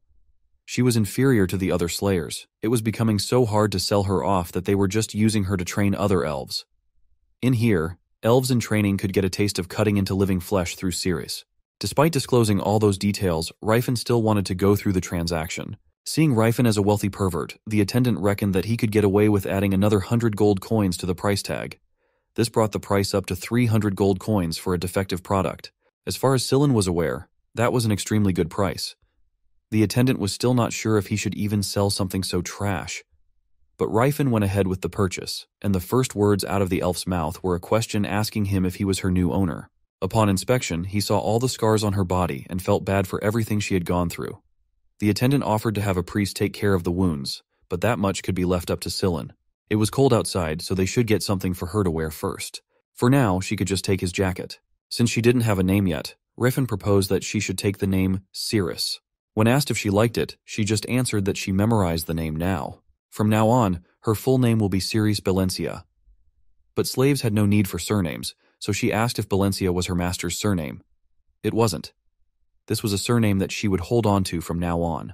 He properly introduced himself as Riffenhart, and the pretty boy was Sillin, a priest of Philinance. Ceres remained wary, but she committed their names and faces to her memory. After they left, the attendant in Elfenheim was faced with a problem regarding number 148. The greedy Tarek could not believe what he was hearing. The slave he had taken an interest in had already been sold just an hour ago. His initial thought was that bastard Beret realized his plan and bought the slave back. But the attendant explained that the customer was a young man new to this town. He didn't even get a name since the guy paid in full cash, so probing wasn't necessary. Even with so many merchants, there was almost no one who would carry enough money to buy a slayer. But the price wasn't that high in the first place. Hearing this, Tarek inquired about what this guy looked like. The attendant truthfully described a young man with a burly build, someone who stood out. Currently, that young man was on a shopping run to get Cirrus out of her tattered slave clothing into something more practical. She looked quite cute with adventurer equipment on. Even Sillin was amazed by Cirrus's beauty. They could go with this outfit for now, they could always make an upgrade later. Ryfin asked Cirrus if she was hungry, but she kept on responding like a slave willing to do her master's bidding. He tried to explain that she didn't have to think of him as a master, so she thought she was getting returned to the auction again. He stumbled on his words, afraid to say the wrong things. Cirrus couldn't quite understand what he was doing. She thought that this generous act and fancy clothes were just a front. This man was treating her as if she were a human girl or something. Ryfin told her that it'd be good if they could treat each other as comrades traveling together. She could drop calling him master and just call him by name. Ceres grew cold. She thought that this was some type of role play, that Ryfin was just a pervert who was playing the role of an adventurer, a foolish man who wanted to act as the hero who traveled with a beautiful swordsman but she didn't voice these suspicions out and agreed to call him Sir Reifenhart. She had grown up with the idea that all humans were the same, Still, that did not stop her from hastily devouring some good food in front of her. People said that Redanti's Grace was the most famous restaurant in Zeppelin. By using the name of the goddess Redanti, the god of earth and bountiful harvests, the provider of food, one might say that the establishment was a form of worship. Sillin argued that if the restaurant was providing food as an act of worship, then the food should be free. That was rich coming from a Philinance priest making money using the beauty business. Pretty Boy Priest insisted that there was nothing wrong with what they did. Using beauty and love didn't go against their religion. Ryfin brought up the fact that they charged quite a hefty sum of gold for the service, and Sillin couldn't cook up a response. After a moment of silence, Ryfin turned towards Cirrus, who was hungrily devouring her meal. After a while, she finally noticed her master watching her eat without holding back. She was reminded that all humans were the same, and she shouldn't be too comfortable. But seeing her go back into her shell concerned Ryfin that she might not like this place. He used to bring her here to commemorate their first meeting anniversary back then. He was well aware that he met Cirrus as a savior back then, and now he was meeting her as a buyer. It may be a meeting nonetheless, but the meaning behind it was different as day and night. He was starting to worry that he might have forced their meeting too soon. But Ryfin was certain that she'd accept the things he would say to her sooner or later, so he was satisfied to just have her by his side. The next stop was the armory where the best weapons in the city could be bought. He was confused to see Cirrus pick up a rapier when she usually used a scimitar. That was a slip-up. He wasn't supposed to know that fact. Thankfully, Sillin butted in complimenting Ryfin for being a martial master who could tell what weapon a person used just by looking at their hands. They left the armory with Cirrus equipped with a mithril-based weapon that she had always longed to carry. Sillin also ended up buying a knife when he had no use for it as a priest. As they were walking back to their accommodation, Ryfin noticed some trouble brewing. A group of uniformed men were seemingly waiting for them to pass through a narrow alleyway. The man leading the charge opened his mouth with a polite proposal to talk about something. They hadn't exchanged any other words yet, but Ryfin already knew that this situation might erupt at any second. Ryfin asked the strangers what the matter was, showing little enthusiasm for the situation. The man in front stated that an individual of noble status had set his eyes on the female elf that Ryfin had just bought. Ceres watched and listened without even batting an eye. Confirming his suspicion that this could turn ugly quickly, Ryfin leaned toward the man and asked, What now? The man wanted Ryfin to sell Ceres to them, the uniformed group promised that they would purchase her at a reasonable price. If Ryfin would like, it would even be possible to trade her for a proper slayer indicated in a bill of exchange. Ryfin quickly answered that he was not interested, while the man maintained a calm demeanor after hearing his refusal. He just reiterated that they would pay a reasonable price, a phrase that would make any other person in this money-driven city feel like they just hit the jackpot. Ryfin was slowly running out of patience for this badgering when he had already said that he was not interested. The man and his uniformed group shot him sharp glances, insisting that he left them no choice. But they just walked the other way, not causing any trouble at all. At least not now. Back in Tarek's lavish residence. The greedy Tarek was yelling at the man named Romad for returning empty-handed when he wanted to get his hands on that elf. Romad explained that Ryfin wasn't budging no matter the price, and with so many eyes watching them in the city, beating him up and tossing some coin after would not be a good idea. He would just look for the chance to abduct the Slayer and fabricate a lie that she died and offer to pay twice her price. Romad thought that this was the cheapest way to get what the boss wanted. Tarek was quite pleased with the plan, but wanted Sir Lantas to tag along. That old bat had just been sitting around and getting paid. It was about time to work. In the three-person party's accommodation, Ryfin was looking at his remaining funds stored in the unlimited bag. He thought he would have 2,000 gold in surplus, but he had a lot more than that. Still, this was just a drop in the ocean since he was planning to rebuild an empire. Maybe he should start investing rather than lugging these heavy coins around everywhere. Come to think of it, the famine struck the Crovence Kingdom, a neighboring territory, around this time back in his previous life. The Crovence Kingdom was an agricultural country. Their fertile land and abundant harvests were blessed by goddess Redanti. They never considered preparing for a famine. However, when spring comes, a surge of starvation deaths and the hellish scenes of parents eating their own children will unfold. So it would be wise to invest in grains starting now. The trade unions that could make that happen are Rolifane, Karen, and Tauban. First of all, Rolifane is a hard pass. Their leader was a pervert who abused Cyrus in the previous timeline. Between the other two trade unions, Ryfin decided to go with the third largest one on the continent, which specialized in grains, the Tauban Trade Union. The leader of said union is Sivolt Tauban. He's currently in deep trouble as Rolifane was doing their best to bury them using unethical ways. At this rate, Tauban will lose its trade partners. While he was stressing over funds, one of his employees notified him that a possible investor had come. But a petty amount of investment won't solve their problems. It'll just increase their workload, so his first instinct was to send the investor away. Until his employee told him that the guy offered an influx of 1,500 gold coins. Ryfin entered the office with a big smile while telling the union leader that he wanted 1,500 gold coins invested in grains. He wanted the money to flow into the Krovance kingdom around the time of barley harvest next spring. Sivolt Tauban immediately advised against such a move. Since selling grains to Krovance kingdom is like selling soap to the orcs, they won't buy it. But Ryfin was already all in. If this doesn't work out, he'll take the loss while Tauban will still pocket the benefits if it turns out well. But Tauban can't possibly screw a customer making an investment bound to fail. If Sivolt won't do it, Ryfin threatens to just go to a different union with his money. The honorable leader honestly confessed that his union was not in a great situation. With Ryfin's investment, they could overcome the challenge and prosper. He wanted his clients to prosper too. This man was adamant in his previous life too. But this is Ryfin's money, and he could do with it as he pleases. Now he needs that contract and fast. But before all that, there's one promise that Sivolt must abide by. That is to not spend his funds on personal use. He doesn't even need to say what would happen if that promise were broken. One more thing. There should be a Tauban trade union branch in Graham Kingdom since they recently paved a road in the northern region. Ryfin wanted to know if they also have a branch near Delphia's Mage Tower. They don't, but they have a route running through it. He wanted the Union to investigate someone from that tower. This is an opportunity to get information regarding the Riffenheart of this timeline. Meanwhile, Sillin and Cirrus were getting acquainted in the courtyard of the inn. The beautiful elf wanted to take this time to sharpen her skills with Sillin's tiny blade. Pretty Boy Priest watched in awe as Cirrus performed a series of moves flowing like water from one slash to the next. She truly looked like a dignified warrior whenever a blade was placed in her hands.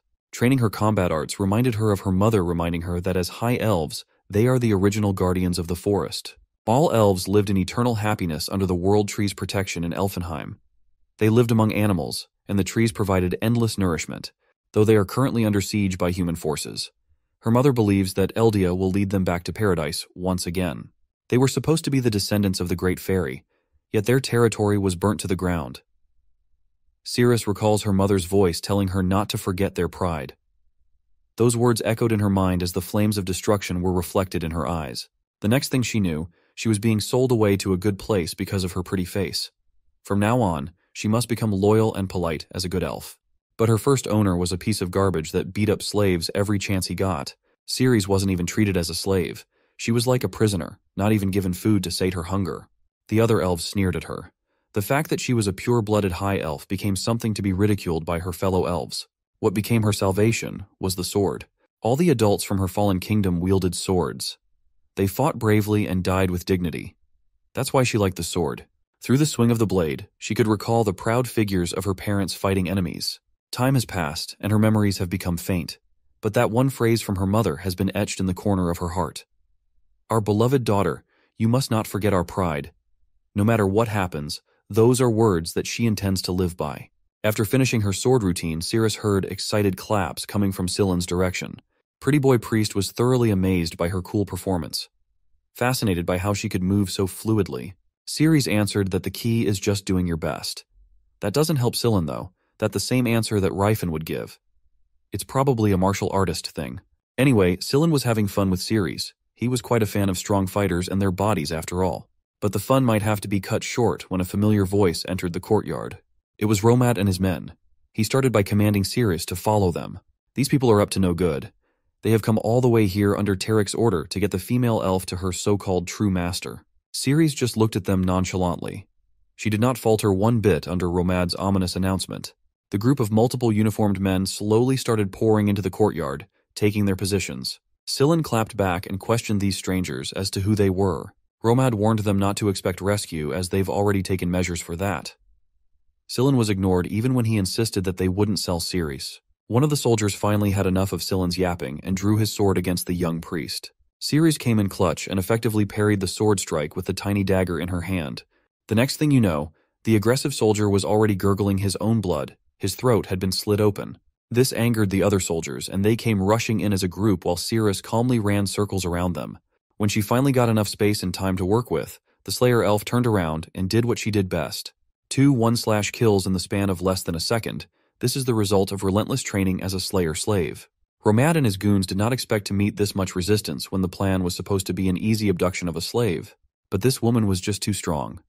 She dropped multiple soldiers without breaking a sweat. Sillin was not going to get overshadowed either. He called on Philinance to strike these disrespectful intruders with an iron mace. He wasn't able to finish the casting process because of a throwing knife heading towards his head. Thankfully, Ceres got him out of harm's way on time. Romad personally threw the knife, asserting that no one would say anything if a young pilgrim was killed in this place.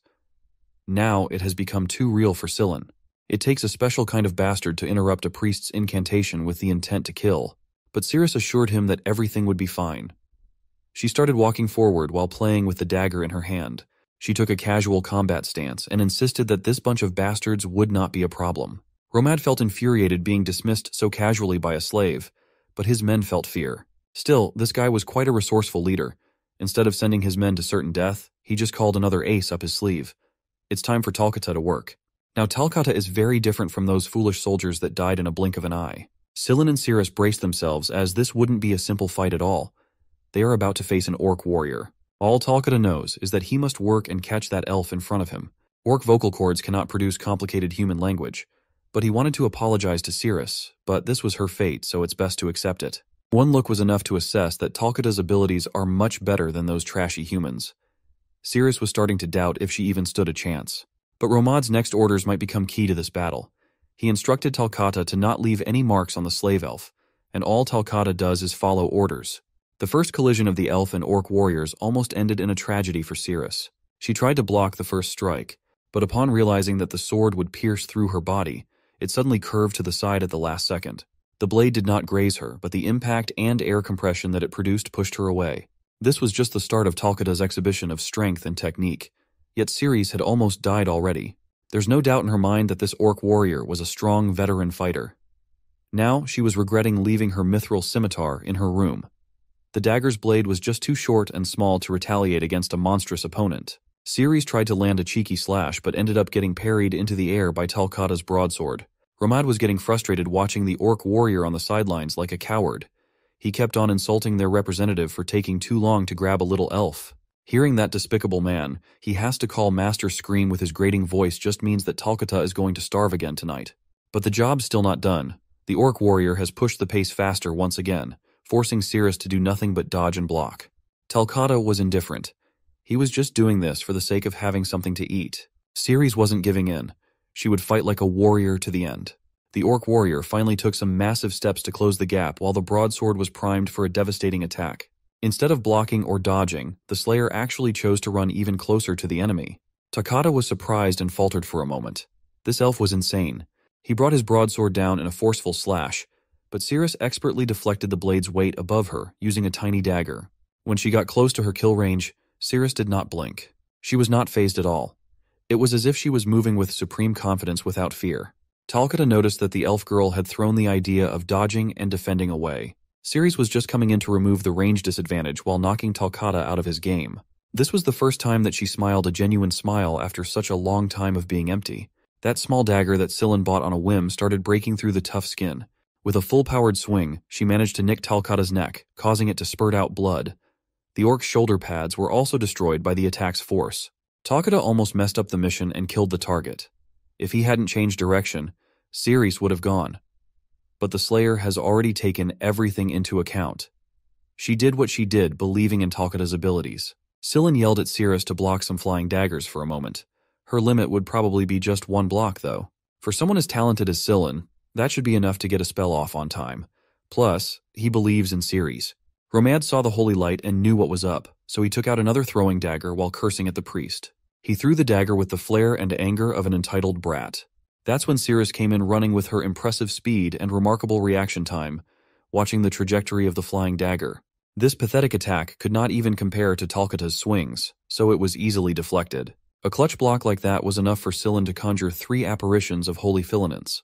He beckoned these apparitions to beat up the damned bastards enthusiastically, Ceres was shocked to see this pretty boy actually performing something impressive with his holy magic. Romad, on the other hand, feared for his life. The apparitions of holy filaments situated on top of ornate scepters came flying to where the soldiers positioned themselves. It essentially destroyed the inn's courtyard, causing an impact that was felt throughout the area. Sillin immediately started running since his divine power only works on demons and the undead. That big show of destruction can only buy them some time to run away. Ceres had no time for this guy's pathetic running speed, so she picked him up from the scruff of his priest garb. The Slayers also took the Orc warrior's broadsword, tossing it into the air and kicking it forward. Its sharp blade lodged itself into a nearby wall where a window was situated nearby. Ceres followed the trajectory of the broadsword and jumped on its surface to use his footing.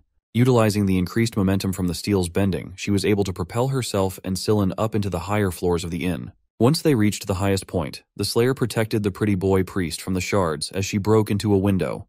Romad was mad now that he and his unit had been beaten up by godly apparitions. He urgently ordered Talcata to give chase. But before the orc warrior could take another step, a composed voice berated Romad and his men for failing. The gentleman couldn't believe that all this fuss was because of an escaped female elf. An old man with a scruffy beard was fascinated that a Slayer elf could fight with a veteran orc warrior and sneak out. He thinks that maybe it's about time to earn his keep too and asks where the elf went. Romad pointed up to the broken window and a surge of pure energy surrounded the old man. He casually lifted off the ground without a running start and while wearing heavy equipment. This mysterious old man smoothly entered through the broken glass in pursuit of Sillin and Cirrus. Even the arrogant Romad was humbled at the sight of that old man and those inhuman capabilities. This is Sir Lantas, an aura user under Tarek's employment, and this is how he rolls. For once, he was given a task that he might actually enjoy. He misses this feeling, the thrill of playing life or death hide and seek. Sillin and Cirrus don't know what's about to hit them. The distance to the door in the corridor seemed endless. Sillin suggested to Cirrus that he should go back to the room and take their equipment. He supposed there might be people there. However, they can take on one or two people. It's still better than running off with a single dagger. Ceres agreed with the plan. She was surprised that someone she thought was a naive child would be so focused in such a dangerous situation. The guy guarding the door heard the noise and turned his head in bewilderment to look. The first and probably the last thing he saw was Ceres preparing to strike. One punch from her was enough to knock the poor guy out. While Ceres was getting dressed, Sillin was panicking and pushing her along. He said they should grab their things and run away as soon as possible. He then started reciting some sort of protection spell that would help them hide. At the same time, Sir Lantis was already walking down the corridor of the inn, getting closer and closer to the room where our heroes were hidden. He was a swordsman who had reached a great level of skill with the sword. He was so skillful that he even managed to awaken his aura. An aura user can sense the movements of all living things within a radius of 30 meters, as if seeing them with their own eyes. That was why he was surprised to see that his opponents had just decided to hide in the room. However, after breaking down the door and finding no one, he realized his mistake. He had never thought that some kid would be able to use the concealment skill as a high-level cleric. It was obvious that they had already escaped. Suddenly, one of his subordinates came running to him and asked if they had managed to escape. They had. But Lantis was not going to give up so easily. He knew they couldn't have gotten far, so he immediately ordered to release the hounds to search for them. At about the same time, Ceres and Sillin tried to escape through the alleys of the city. Following Sillin, who had temporarily taken command, Cirrus asked if it would be better for them to go out into the street and get lost in the crowd, but he immediately rejected this idea, for if people realized that they were runaway slaves, they would surely turn against them. As a saint of the Holy Order, Sillin was protected. However, now, as a lone pilgrim, he realized how hard it was for those. However, giving up and returning to the Holy Order was obviously not a good option for him, for there was something more terrible waiting for him there. He told Cirrus that if Ryfin were here, everything would have been resolved long ago. Hearing this, she asked incredulously if he was really that strong. Without answering, Sillin began to recite the spell. There was only one thing to do now, and that was to try to find him. A pink light illuminated the street. It was the spell that would lead them to Reifenhart. It was called the Crossroad of Destiny, and with the help of the strings of fate could point the way to their goal. Love turns coincidence into destiny, and a chance encounter turns fateful through love. It may just be a coincidence with a probability close to inevitability, but when it's blessed by Philinance, it becomes destiny. This sacred spell was originally used to create couples that would be compatible with each other. It was clearly not intended for such use. However, there was no other way out. Turning to Cirrus, Sillin noted that she was very powerful. Before her, he had only seen one slayer named Lelsia, but she was not as strong as she was. Cirrus also noted that he was already at the level of a high-level cleric, despite his young age. After exchanging praises, Sillin was left surprised. While talking to Cirrus, he didn't feel like he was talking to a slave at all. While he was thinking about it, they had already reached the right place. It was to these ruins that the threads of fate were pointing. However, in the next moment our heroes realized that something was wrong. Out of the ruins slowly emerged a completely different person from the one they were looking for. It was Lantas. How could this happen? That was the question on Sillin's mind. Cirrus immediately prepared for battle. A smile appeared on Sir Lantis's face. He was grateful to these kids for giving him a good workout. He assumed that they were planning to try to escape again, so he advised them not to make that mistake again. Ceres also realized that if they tried to run away, they would leave their backs open. Already in the next instant, she had thrown herself at Lantas with a fierce scream. They had only one way to go defeat the enemy. In the blink of an eye, she got close to him and swung her sword. Lantas was an aura user, and Cirrus was clearly no match for him. Once behind her back, he noted that she was clearly not a novice slayer and that she was quite talented. Ceres desperately swung her sword behind her back, but it was useless. Sir Lantas was already in front of her. He also noted that she was trying very hard, which was unusual for a slave. Ceres was not interested in what he was saying. All she could think about was what kind of man was in front of her. As Scylla read the spell, he himself was pondering why a man of such skill was involved in this mess. With his abilities, he had to be at least a famous knight or swordsman. As he cast the spell, Cirrus's sword began to illuminate with a bright light. The girl was surprised at the power she received. Needless to say, even Lantas was surprised. After all, to cast so many high-level holy spells at the same time one had to be of episcop level. It was hard to believe that the boy in front of him was one. Scylla proudly replied that he was quite famous in the south, then excitedly shouted to Cirrus to beat up that rascal. The next moment, a hail of blows fell on Lantas.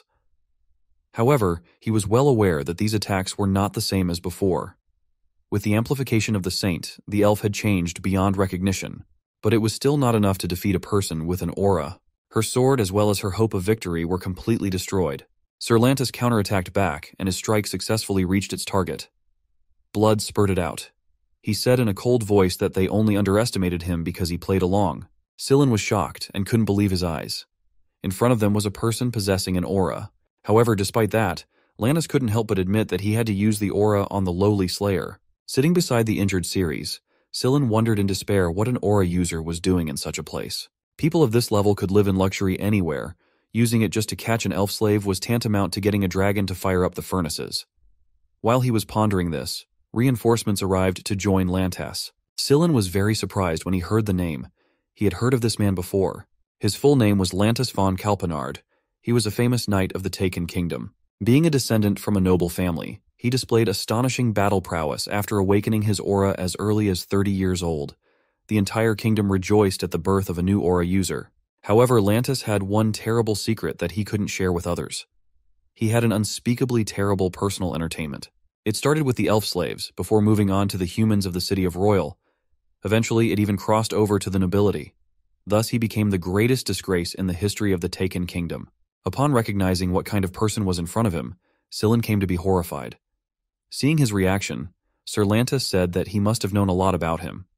That was true for Scylla had often been told that if he wandered at night, Lantas would come after him. The childhood injuries were still making themselves felt. Scylla also began to say that he was actually justifying the rumors. After all, what self-respecting aura user would take on such dastardly deeds? Hearing this, Lantas replied with a smile that he was someone who was just trying to live off his salary. He confessed to killing hundreds in the Taken Kingdom, and after that, he fled here. And it's been a long time since he last played tag. Romad noted that to the Rolifane trade unions, Sir Lantis's disgrace was of very little importance. They could give him the dirty work, and he would get money and freedom. It was a profitable partnership for both of them. In addition, it was his strength that made this trading company the second largest in just 10 years. Lantis was determined to seal Sillin's divine power. Shooting several aura bullets at him, he said that he knew very well that the best solution was to silence the high-level cleric, because it could turn out badly for him in the future. Romad worriedly told Sir Lantis to try not to hurt the elf anymore, but he replied that they could always heal her. Then turning his gaze to Scylla, Lantis noted that he was quite handsome. He didn't know anything at all, so he offered to take her with him. Scylla immediately cried out in panic that he was a man and would not go anywhere with them. As it turned out, however, that wasn't a problem for Lantas. He always wanted some kind of new experience. Romad reached out to grab the frightened Scylla. However, all he ended up with was a wound on his arm. Interest appeared on Lantis's face. He couldn't understand how the boy could stand on his feet with his tendons cut. In his opinion, he was the brightest, most beautiful, and fragile zombie in the world. He also said that although he didn't want to do it, it looked like he'd have to amputate his limbs. There was a look of horror on Sillin's face. The next moment, one of the walls was instantly destroyed by an explosion, which caught the attention of everyone present. Sillin opened his eyes wide in surprise. He had already guessed who it was. Ryfin appeared from the cloud of smoke and said in a cold voice that he had finally found those bastards. His anger and rage was hard to describe in words. They dared to touch his Cirrus, and so they had to pay for it. Ryfin's sudden appearance made everyone freeze in place. Under their surprised looks, he threw off his jacket and walked straight past Cerlantes, who could only wonder who was so cocky to show up. One glance of the experienced warrior was enough to realize that this young man was not just an ordinary well-built kid. Cerlantes could even sense his very strong aura, and kept wondering who he was. Romad had already met him, so he told him that he was the one who bought the Slayer elf. However, Ryfin's appearance did not fit the description of the buyer, who, according to Romad, was just a random kid. Now Sir Cerlantes felt all his feelings going off the charts just by looking at him. And he called him a random kid? There was no doubt about it, he was an aura user too. But looking at him, he couldn't understand how. How was he able to master aura at such a young age? Cerlantes finally came to the conclusion that the guy was only young in appearance, and in reality, he must be in his 40s. It's been a while since he met someone as strong as Ryfin. Our hero only grinned as he prepared for the fight, and advised his opponent not to pretend to be a knight, when in fact he is just a dirty pervert old geezer. Cerlantes did not have to wait long for a reaction, and in the next moment he rushed to attack. Our hero was also ready, and his fists were already blazing with aura. Each of them rushed forward with their weapons. Our hero only had his fists, while Cerlantes was already taking out his sword. Their attacks met, and everything around them lit up with a flash from the collision of two powerful auras. The explosion was so strong that the bricks of the stone wall flew apart like small pebbles. In this chaos, Ryfin's figure towered over the old knight. But despite our hero's powerful blows, the knight wasn't simple, and deflected each of his blows, while striking back. They seemed to be evenly matched. It was a legendary battle between two worthy rivals. The others, however, had to be careful. Romad understood this well and shouted to his warriors to run away, otherwise they would all die, being swept away by some random blow of these two titans. While Sillin was treating Cirrus, Ryfin continued to destroy the fortress walls in the heat of battle with his opponent. Ceres was surprised that Mr. Reifenhart is an aura user. It was just that Sillin had neglected to tell her about such a minor detail. Ceres, on the other hand, was seeing something like this for the first time and watched her new master's movements as if mesmerized. Meanwhile, Cerlantes couldn't understand what was going on. This guy's skill level was clearly not that of someone who had recently awakened his aura. His movements were too confident, and his gaze was like an old man who had learned the meaning of life. On top of that, he controlled his aura as skillfully as he controlled his fists, even deflecting with aura bullets some of his attacks. Cerlantes realized that he was simply too proficient with aura, there were only two possibilities. He had either awakened his aura in his teens, or he was actually over 40 years old and still had his baby face. Anyway, both cases were too unlikely and seemed completely pointless. The battle continued, and neither of them were going to back down. Our hero was beginning to wonder why this damn knight was so strong. How could some filthy pervert who tried to put a hand on Cirrus use swordsmanship as precise as this? But it didn't really matter, because he was going to beat up anyone who said martial arts were only good for building character. All of Lantis's attacks had been deflected, and he didn't understand how that was possible. This guy was able to repel all of his sword attacks with his bare hands. He really has incredible skills. Who could he be? There was only one obvious option. So Lantis asked if he was a disciple of the martial king Gerard. Ryfin wasn't even going to answer this so-called knight, but he still wondered why he was so caught up over some slave when he's this strong. Ryfin couldn't stand such disrespect to his beloved. How dare this old pervert call her a slave? He was already furious at the way people treated the other races. They don't even want to admit that those slaves have their emotions and will.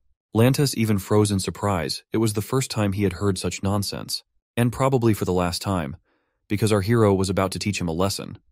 How could Lantis call them slaves when he had never even spoken to them properly? Had he ever once in his life wondered why they were considered slaves? Literally one blow from Ryfin, and the wall crumbled. Lantis wasn't going to give up so easily and successfully dodge the blow. He still couldn't understand what kind of nonsense he was spouting again and again. This reaction was nothing new to our hero. He had seen it many times before in his past life. It's just that they believe that all beings other than humans are inferior.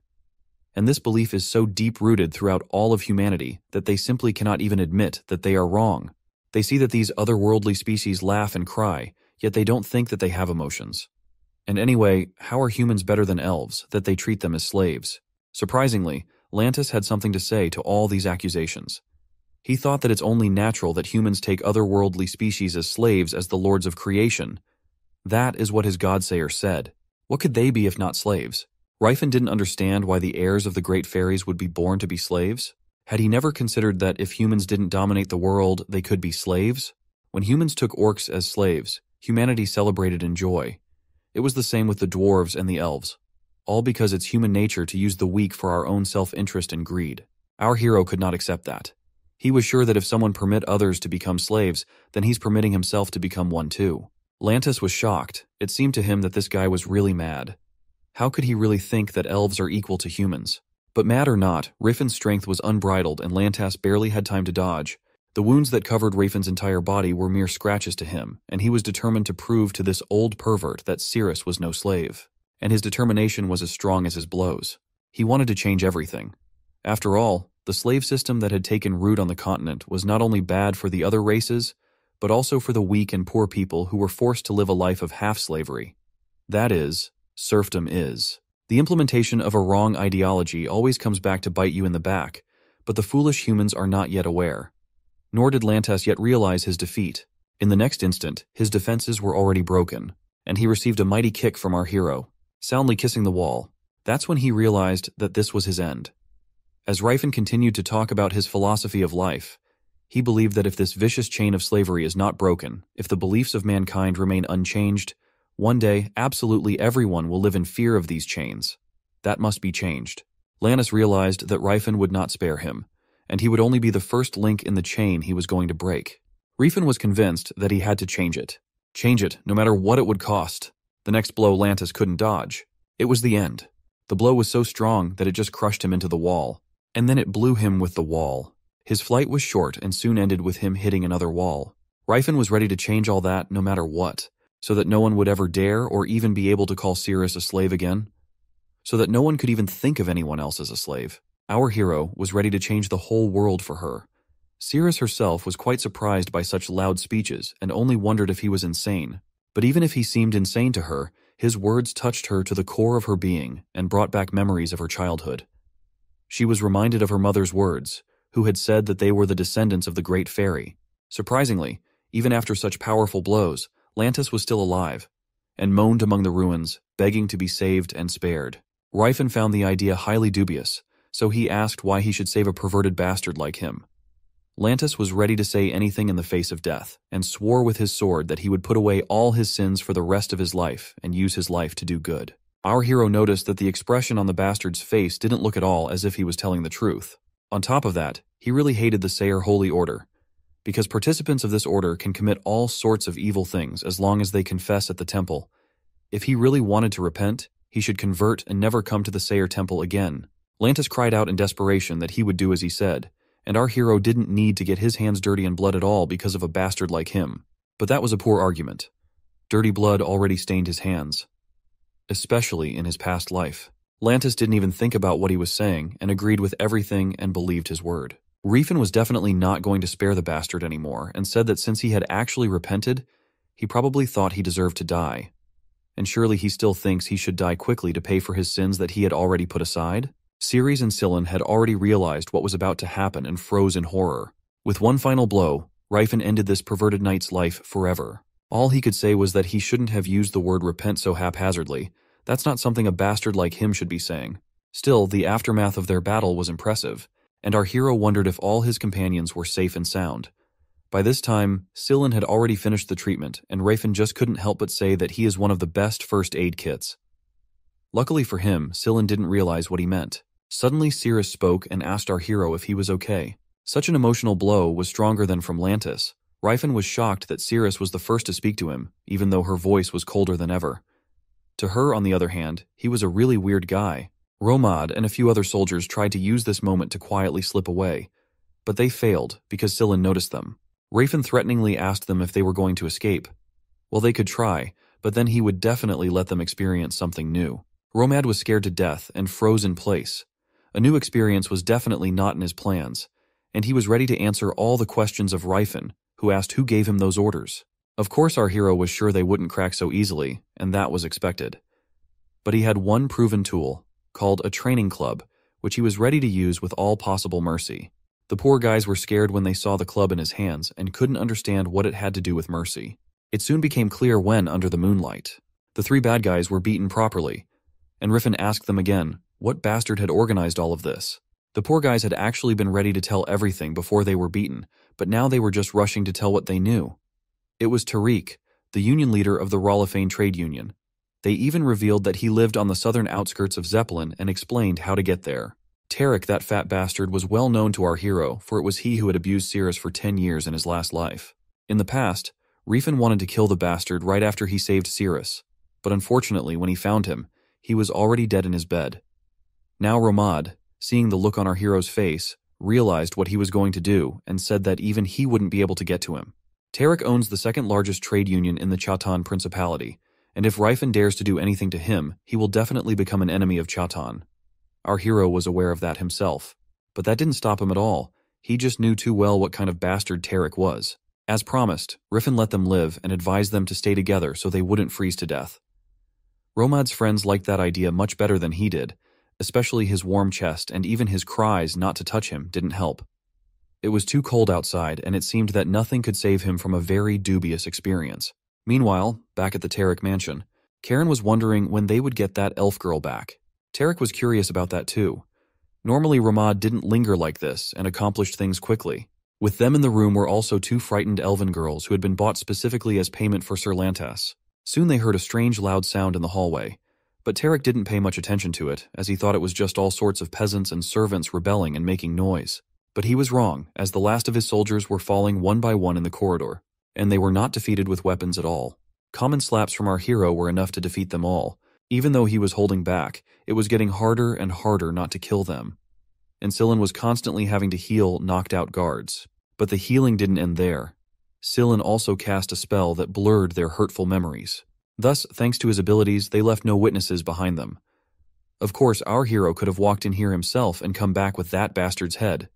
But his friends also wanted to see that bastard get beaten to death. And in that case, the memory removal skill was very useful. Suddenly, another obstacle appeared right in front of them Talcata, who was determined to do his duty and block the intruders. Ryfin wanted to resolve things peacefully, insisting that Talcata had the blood of a warrior in him, and the one he was protecting was not worthy of his protection. So why then wield a sword for him?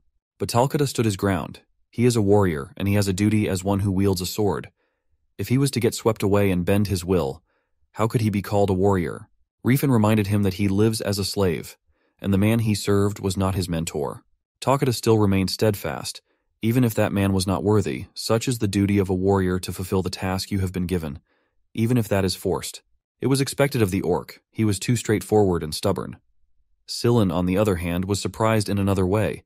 How could Ryfin speak orc? Suddenly Cirrus stepped in and said she would take care of the orc and let Reifenhart move on.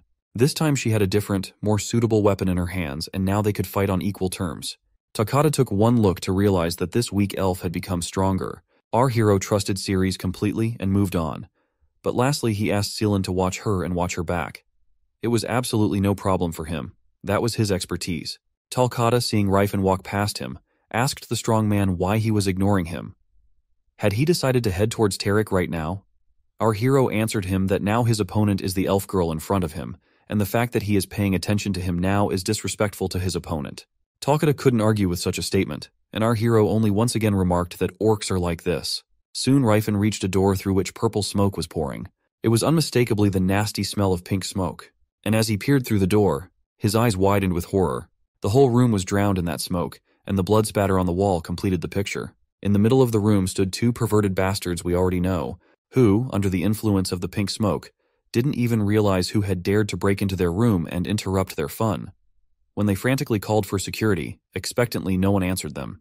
At the door stood only a very angry Riefenhart, who had seen all sorts of dirty acts in his life and had never seen anything like this. And this was something he certainly couldn't forgive them for. Those bastards had to pay for their deeds. Tarek was furious at the sight of the strange intruder, who also saw what they were doing and began to ask who he was and what he was doing here. His gaze immediately fell on the two dead elven women's lying on the floor. Saying that Ryfin was furious was a very mild way of putting it. He didn't understand why there were so many people in this world that he shouldn't have let live. Tarek started calling desperately for Talcata. He didn't understand what was happening or where his guards had gone. Since no one showed up to his cries, he decided to try to negotiate. He started to ask what he wanted, if he needed money. Seeing no interest on the guy's face, he realized that he had probably come for the work of the Tauban trade union. He started to panic, promising to pay him twice as much as his employer, but it wasn't about the money. No. It pained Ryfin to realize that Ceres, in his past life, had been a slave to this trash for 10 years. He hadn't changed a bit. Trash doesn't change. Seeing that the guy's mood had worsened even more, Tarek panicked and started to say that he would immediately write up a contract. However, his words were little more than mere sound. Our hero didn't need anything he was offering. All he wanted now was his death. Even after the blow, Tarek still didn't understand what was going on and why he was being beaten. However, in the next moment, our hero explained that it was all because he dared to touch his series. A look of bewilderment appeared on the fatty's face. He didn't even understand who he was talking about, but he was never meant to find out. Ryfin had done to him what he had done to his slaves. To summarize Tarek's impressions, he didn't like it, to say the least, even Karen didn't like it, or he just realized he was next in line. Tarek was dead. Before he died, Ryfin had managed to make him feel the full range of sensations Cirrus had once felt. That should have been enough. Karen, horrified by what he had seen, began to accuse our hero of being a murderer. Ryfin was amused to hear the words of a man who also killed, and for fun. However, as it turned out, he did not think so. In his opinion, he lived his life without guilt, to what our hero replied that such trash like him really had no conscience. At the same time, Cirrus and Sillin came into the room. It was not a pretty sight, dead bodies and pools of blood. Even in Cirrus' opinion, it was quite brutal. However, Rafin didn't think it was wrong. In his opinion, those bastards deserved much worse. Sillin also agreed with him. They were real trash. Ceres was surprised that Sillin didn't even flinch at the sight of so many corpses. The one explained that he had just spent a long time traveling. He also informed our hero that Cirrus had taken care of Talcata and that he hadn't even helped her. However, that wasn't entirely true, for she wouldn't be standing here if he hadn't healed her. Sillin's words were true. Luckily, Talcata was not dead. He was wounded and his breathing was weak, but he was still alive. Suddenly, their conversation was interrupted by the last of the bastards, Karen. Seeing Cirrus, he immediately remembered that she was the slayer he had brought back. Looking at the dead elves, Cirrus asked in a cold voice if he was the one who killed them, the one asked in desperation what she would do if he was. Ceres had an answer to that question. His death was clearly not enough to make up for the death of the child as well as everyone else he had killed. However, it was the least she could do right now. It was really hard to keep alive a trash who didn't understand why she was going to kill him over some slave. The very next moment, Karen's heartbreaking scream was heard. In death agony, he reached for the dead elf looking for salvation, but his attempts were futile. In the next instant, the blade pierced his heart, ending his life forever. Ceres was not going to let such a bastard touch her with his filthy hands. Ryfin watched all of this in silence. He was sorry that she had to go through something like this again. He promised himself that he would be stronger and do everything he could to make sure it didn't happen again. It was deep night over the snow-covered winter forest. A fire was burning on a clearing in the middle of the forest, and many elves and orcs who had been slaves of Tarek and Karen were gathered around it. Talcata reported to Ceres that he had gathered all the slaves that were in that place, in response to her thanks, he replied that he didn't need to be thanked. He bowed his sword, for from now on her master was his master. Observing the present, Sillin noted that the gender ratio was rather odd, but for Cirrus there was nothing unusual about it, for male elves and orc women were not popular at all. Watching what Ryfin did and said, Cirrus began to doubt the validity of her thoughts about him. Though his words were loud and seemingly impossible, she felt in her heart that he spoke from the heart. However, her thoughts were disturbed by Ryfin returning back to their small camp. Unfolding the scroll he had brought, he explained that it was a slave contract that bore the seal of the leader of the Rolifans Union. It was quite difficult to find, as it was a very important document. When Sillin asked him where he had gotten it, Ryfin proudly replied that he had stumbled upon the safe when he had broken down one of the office walls. Sillin didn't share his emotions, and remarked that it was barbaric, just his style. Our hero immediately excused himself, saying that in all his 50 years of life, no one had ever said anything like that to him. But the next thing he knew, he realized his mistake. He was still not used to the fact that he was in a completely different body, and he also had a feeling that he was gradually turning into a barbarian. The answer to the question of why he needed a slave contraption was quite simple. Addressing everyone present, Ryfin said that anyone who no longer wanted to live the life of a slave, he would grant them freedom. Freedom? It was an almost unfamiliar word to the elves and orcs, they knew its meaning, but they could not imagine what it meant to them. It was sad to learn that they did not even understand what he was offering them. Sillin asked Ryfin if he intended to engage in the slave trade, but the answer was obvious to our hero. He had no intention of selling them to anyone. Then Sillin asked Ryfin if he had decided to stop traveling and settle down somewhere. However, that was not the case. In fact, Ryfin had written a contract stating that all slaves were free, and once he put his seal, all of them would no longer be slaves of Tarek. On the other hand, letting these guys go, who didn't even have a home, was just self-satisfaction of his supposed justice. By such an action, he would most likely expose them to other dangers. First and foremost, he had to teach them how to survive in this world. After a while, a rather interesting company gathered in Sivolt Tauban's office. The merchant found out that the slaves who had arrived were Tarek's and asked our hero in bewilderment if he had bought them all. Ryfin replied that he would find out later, but in the meantime, he had a request to take care of them in secret. He also added that he would hear interesting news tomorrow morning, and the one to figure out the truth of the matter would be he. And if the secret came out, the only suspect would be him alone. While Sivolt was thinking about what he was up to, our hero told him not to worry too much about it because it was just a simple threat. In the next moment, he also threw a pile of gold on the table. In Ryfin's opinion, 100 gold coins should have been enough for him to take care of the slaves, but from the expression on the merchant's face, he could easily tell that it was too much. Sivolt immediately thought that he must have robbed the Rolifane estate, but he did not refuse the deal. He told our hero that he had a place near Zeppelin, and if he put slaves there, no one would know about it. Ryfin also wanted Sivolt to promise that no one would touch them or treat them as slaves but him. Sivolt replied that he would definitely see to that, but a hundred coins as payment still seemed too much for him. Our hero replied that he also wanted him to use the money for their training. Sivolt Tauban was surprised, because he thought that they had already been educated as slaves of Tarek. However, Ryfin was not talking about slave education. Language and numbers, depending on how they do, accounting, history, history, philosophy as well. If possible, medicine and healing too. Those were the things he had to teach them.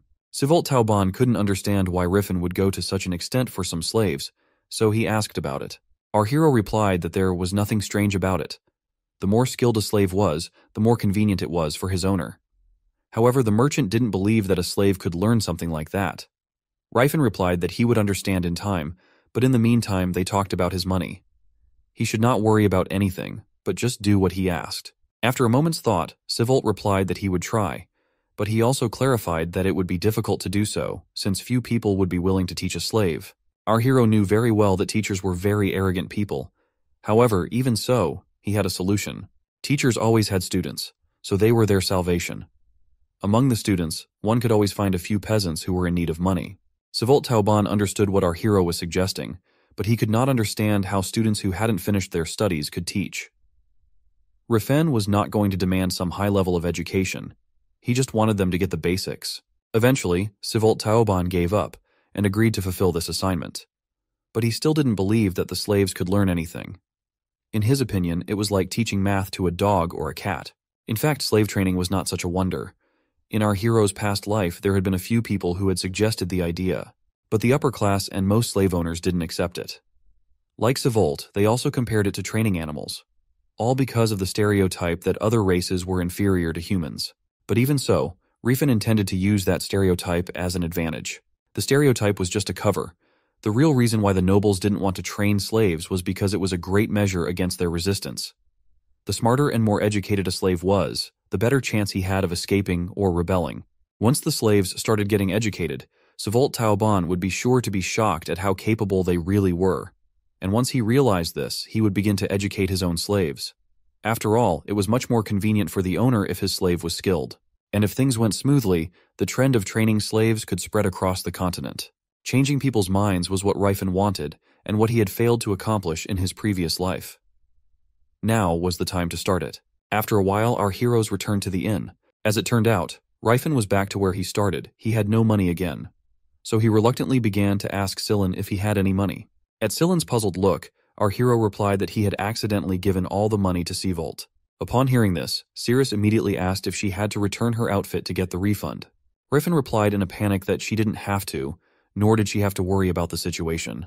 He didn't notice, but that was the first time she had ever laughed ever since becoming a slave. As one might expect, the next morning at Zeppelin was restless. The reason for this was that two dead bodies were discovered, which belonged to the great trade union Rolifane's leader Tarek and the Karen trade union's successor Beret. The culprits were unknown, as none of the guards remembered almost nothing. Eventually, the case was dismissed for lack of evidence and confusion. Two weeks later, our heroes went to clean up another dungeon. The battle with monsters was impressive. While Scylla was getting rid of the undead with holy magic, Cirrus was effortlessly destroying skeletons with her blade.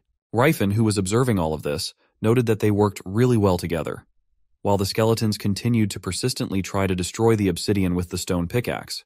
But more specifically, Scylla was adjusting to Ceres' needs. In simple terms, he was the best support. Ryfin was curious to know how old he was when he started entering the battlefield to achieve this.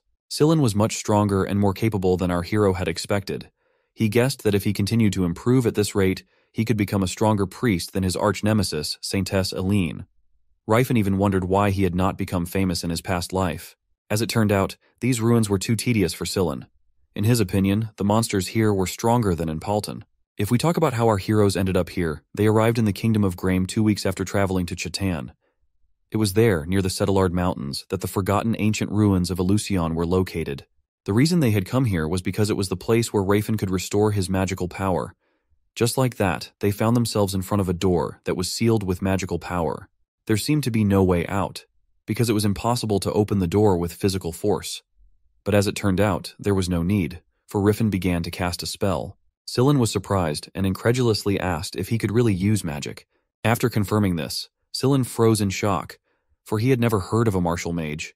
He couldn't help but be jealous, for in front of him was a person who not only had excellent martial skills, but could also use magic. That wasn't fair at all.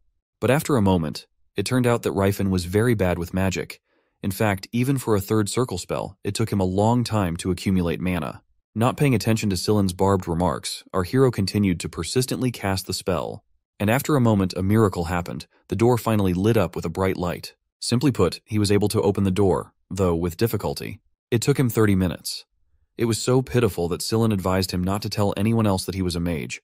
In his past life, Ryfin had been the world's first 10-circle mage, and so he could no longer tolerate the fact that he was now so bad at magic.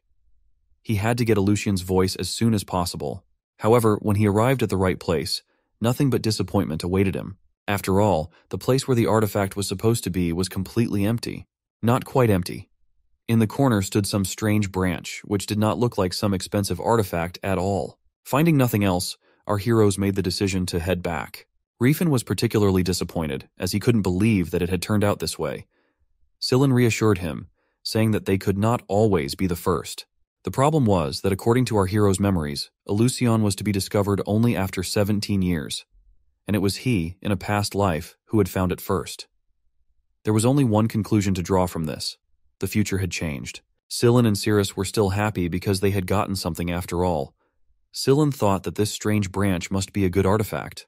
And so it was. In the next instant, the branch glowed with a bright green light and turned into a magical bow. It had the name Nihilin, and it shot magical arrows created from mana. Depending on how concentrated the wielder was, the number of shots that could be fired in a row depended on how much concentration he had. It looked like an ordinary stick, but it was actually a branch of the Elfenheim Tree of Life. Well, what was to be expected from such an artifact? Its power was incredible. Everyone was impressed by its power, and even Cirrus confirmed that it was an excellent weapon. But there was still one outstanding question. Turning to our hero, Scylla asked how he even realized that this old branch was an artifact. Ryfin couldn't answer that it was Sirius's main weapon in his past life, so he simply said that he had heard of it before. Scylla continued his futile attempts to comfort our hero, telling him how many more ancient ruins there were on the continent. But all those ruins were not enough for none of them contained a relic that could replace Eleusion's voice. After all, it was the only artifact that could help our hero restore his magical powers. Finally, they arrived at the village of Gahalan, and Scylla couldn't wait to eat the food that someone else had prepared. Since when they travel, it was always him who did the cooking, and his dream came true. As soon as they entered the local tavern, a rich table was set before them. The tavern lady was quite pleased that they enjoyed her food so much. It wasn't surprising, though, as her cooking skills were top tier though not everyone shared her opinion. For example, she had recently had guests who were always complaining about the food. They must have thought they were food critics. There was a group of knights from a noble family here a week ago. They were all talking amongst themselves about exploring some ruins or something similar. When our hero heard that, he immediately tensed, and offered to tell her more about them for an extra fee. But she refused the money and agreed to tell everything for nothing, because telling stories is not a job. A week ago, Viscount Kelberin arrived here with the Explore team, but surprisingly those who arrived with Viscount looked even higher in rank than him. One of the knights was even fully armed in gold. She even had fun watching him, all shiny from head to toe. Though he was nice. Ryfin listened to her intently and put the facts together in his head. The golden armor and the golden sword, it couldn't be mistaken for anything else. There was only one person that fit that description, the Golden Knight of the Graham Kingdom's Count Tennis family. Many miles away from our hero in Kelberin's castle, two noble men were dining, Sir Eustace and Viscount Kelberin. Kelberin couldn't stop praising the noble knight for the way he had skillfully eliminated all the monsters in the ruins, but he didn't consider it all his own merits, and thanked Kelberin for his help. But the latter still did not calm down, and told him without stopping that it was expected from the Golden Knight of Graham. And what an honor it was for him to be able to witness his incredible skills. All this stream of flattery was for a reason, and Sir Eustace, who was Tennis family's knight commander, decided to assure him that he could not worry. After all, a third of all the treasures found in the ruins would be his as they had agreed before. Money was not important to Viscount Kelberin, at least that's what he said. He pretended that the honor of fighting alongside Sir Eustace was enough for him and that he didn't need the relic at all. He didn't even mind Sir Eustace taking all the treasures found there, because he knew that he had enough money as it was, and it would be much more profitable to get a good relationship with Sir Eustace. Then over their small talk, they discussed what Viscount Kelberin had done with the adamante and orichalcum that were found on his lands. As it turned out, he had ordered his slaves to mine it for weapons. Sir Eustace was not at all surprised, for the Kelberin family was known for its mining industry and for having many talented blacksmiths among the slave dwarves. It came about that Viscount Kelberin used this opportunity to introduce such a high-ranking guest to his two daughters. Even though Sir Eustace was married, he thought it would be good for them to get to know him. But the guest thought otherwise and replied that he was not going to even come within a few meters of any woman other than his wife. Such an answer was very strange to Kelberin. Had he offended him in some way? According to rumors, he was a very unfaithful husband. Immersed in his thoughts, Kelberin had the imprudence to think aloud of the guest's younger sibling. Immediately, there was the sound of breaking glass. Sir Eustace crushed his glass and declared in a quiet, threatening voice that he had no younger sibling. Then the frightened Viscount Kelberin realized that he had made a grave mistake and began to apologize, but it was too late. Kelberin was saved by a loud noise outside, which shook the whole castle. A servant flew into the room and shouted that a demon has appeared from one of the relics, a horrible centaur-like demon, also known as Sephiatan. He had appeared right in the middle of the inner courtyard of the fortress and was now smashing everything around him, scattering soldiers and stones like garbage. Sir Eustace watched from the window, wondering if there was any artifact that could summon this monster. Suddenly, what he saw made him pale. That stupid bastard, his cousin. There was one guy among the knights who took command amidst the chaos and ordered everyone to keep an eye on the monster sword, evacuate people, and maintain the formation. The mages he sent to the back line, and he ordered the knights to raise their shields. He himself stepped forward. At his command, the mages prepared a freezing spell to hold the demon in place. And soon the will of ice spell bound the demon with a multitude of ice crystals. Now that the monster was trapped, it was time to spring into action. The others were sure that this was enough, and all they had to do was keep going and wait for the commander to show up. But not this guy, whose name was Russ. The rest of the warriors were shocked at what he was about to do. But that didn't stop him. He believed that the evil demon right in front of him was no enemy in front of Tennis's sword. With a battle cry, he lunged at the demon. But despite his determination, he could only scratch the monster slightly. Soon his joyous expression at having struck the demon was soon replaced by fear and the realization that he couldn't dodge the blow, so he had to block it. His sword broke and he fell, and flew back a few meters. One of his friends came to his aid. While Russ was recovering, the irreparable happened. The demon swung his sword again, and right in front of Russ, his friend was blown to pieces. And so did the ice that was holding the demon back. He only managed to whisper in a trembling voice, Brother. Luckily, their commander Eustace had already arrived and ordered stupid idiots like this one off the battlefield and the mages to maintain the ice ring. He looked at Russ and asked contemptuously, Who is his brother? The great knights of tennis are not born from the stomachs of dirty stray dogs. Russ dared not even reply. Sir Eustace was immediately confronted by the demon Sephiatan, and decided to see if it was really a demon that no aura user could stand up to. Eustace had one very powerful argument, his giant golden sword, which he wielded masterfully. It was a magical sword that allowed the user to gain power equal to an aura user, it was called Eldrad, and now Eustace began to cast a spell to awaken it. The sword glowed, and a multitude of golden particles began to separate from it. They began to surround and attach themselves to Eustace, completely covering him in magical golden armor. creating an invulnerable magical armor. Now in full armor, he was ready to fight the demon. And to the cheering shouts of his soldiers, he said, Come, demon of the other world. At the same time, many miles away, our hero in a quiet inn kept talking about this very golden knight. And Sillin was quite surprised that Ryfin didn't know such a famous person, but he justified it by the fact that he lived all the time in the mountains. Still, it was strange that he didn't know the strongest magical swordsman on the continent, so strong that he could even be compared to an aura user. Even Cirrus being a slave had heard of him. However, although Ryfin didn't know who wore these artifacts at this time, he was well aware of their properties. Paying attention to Cirrus, our hero couldn't help but notice how good her pajamas looked, and asked if she felt good in them. But still returning to the topic of their conversation, Sillin didn't understand how they could compare even a strong magical swordsman to an aura user. It's just the power of a magic tool, after all. But Ryfin corrected him that this Eldrad magic armor is not simple at all. It is considered the strongest magic armor of the current age. Although being able to proficiently use that is another issue altogether. This artifact is made of a special material, true gold eldril, which is a magic metal several times rarer than true silver mithril. The magic armor Eldrad and magic sword Eldrin, both made from that true gold, is the highest ranking artifact from the relics of the Silver Age, and has been passed down through the Tennis County for generations. The magic swordsman who uses Eldrad and Eldrin is called the Golden Knight. Those who wear these both powerful artifacts can activate incredibly powerful magic just by simple declaration. It's allowing user to gain access to fighting power on par with an aura user. Right at this moment, Eustace finished reciting the spell, saying, let me become a feather that rides the wind.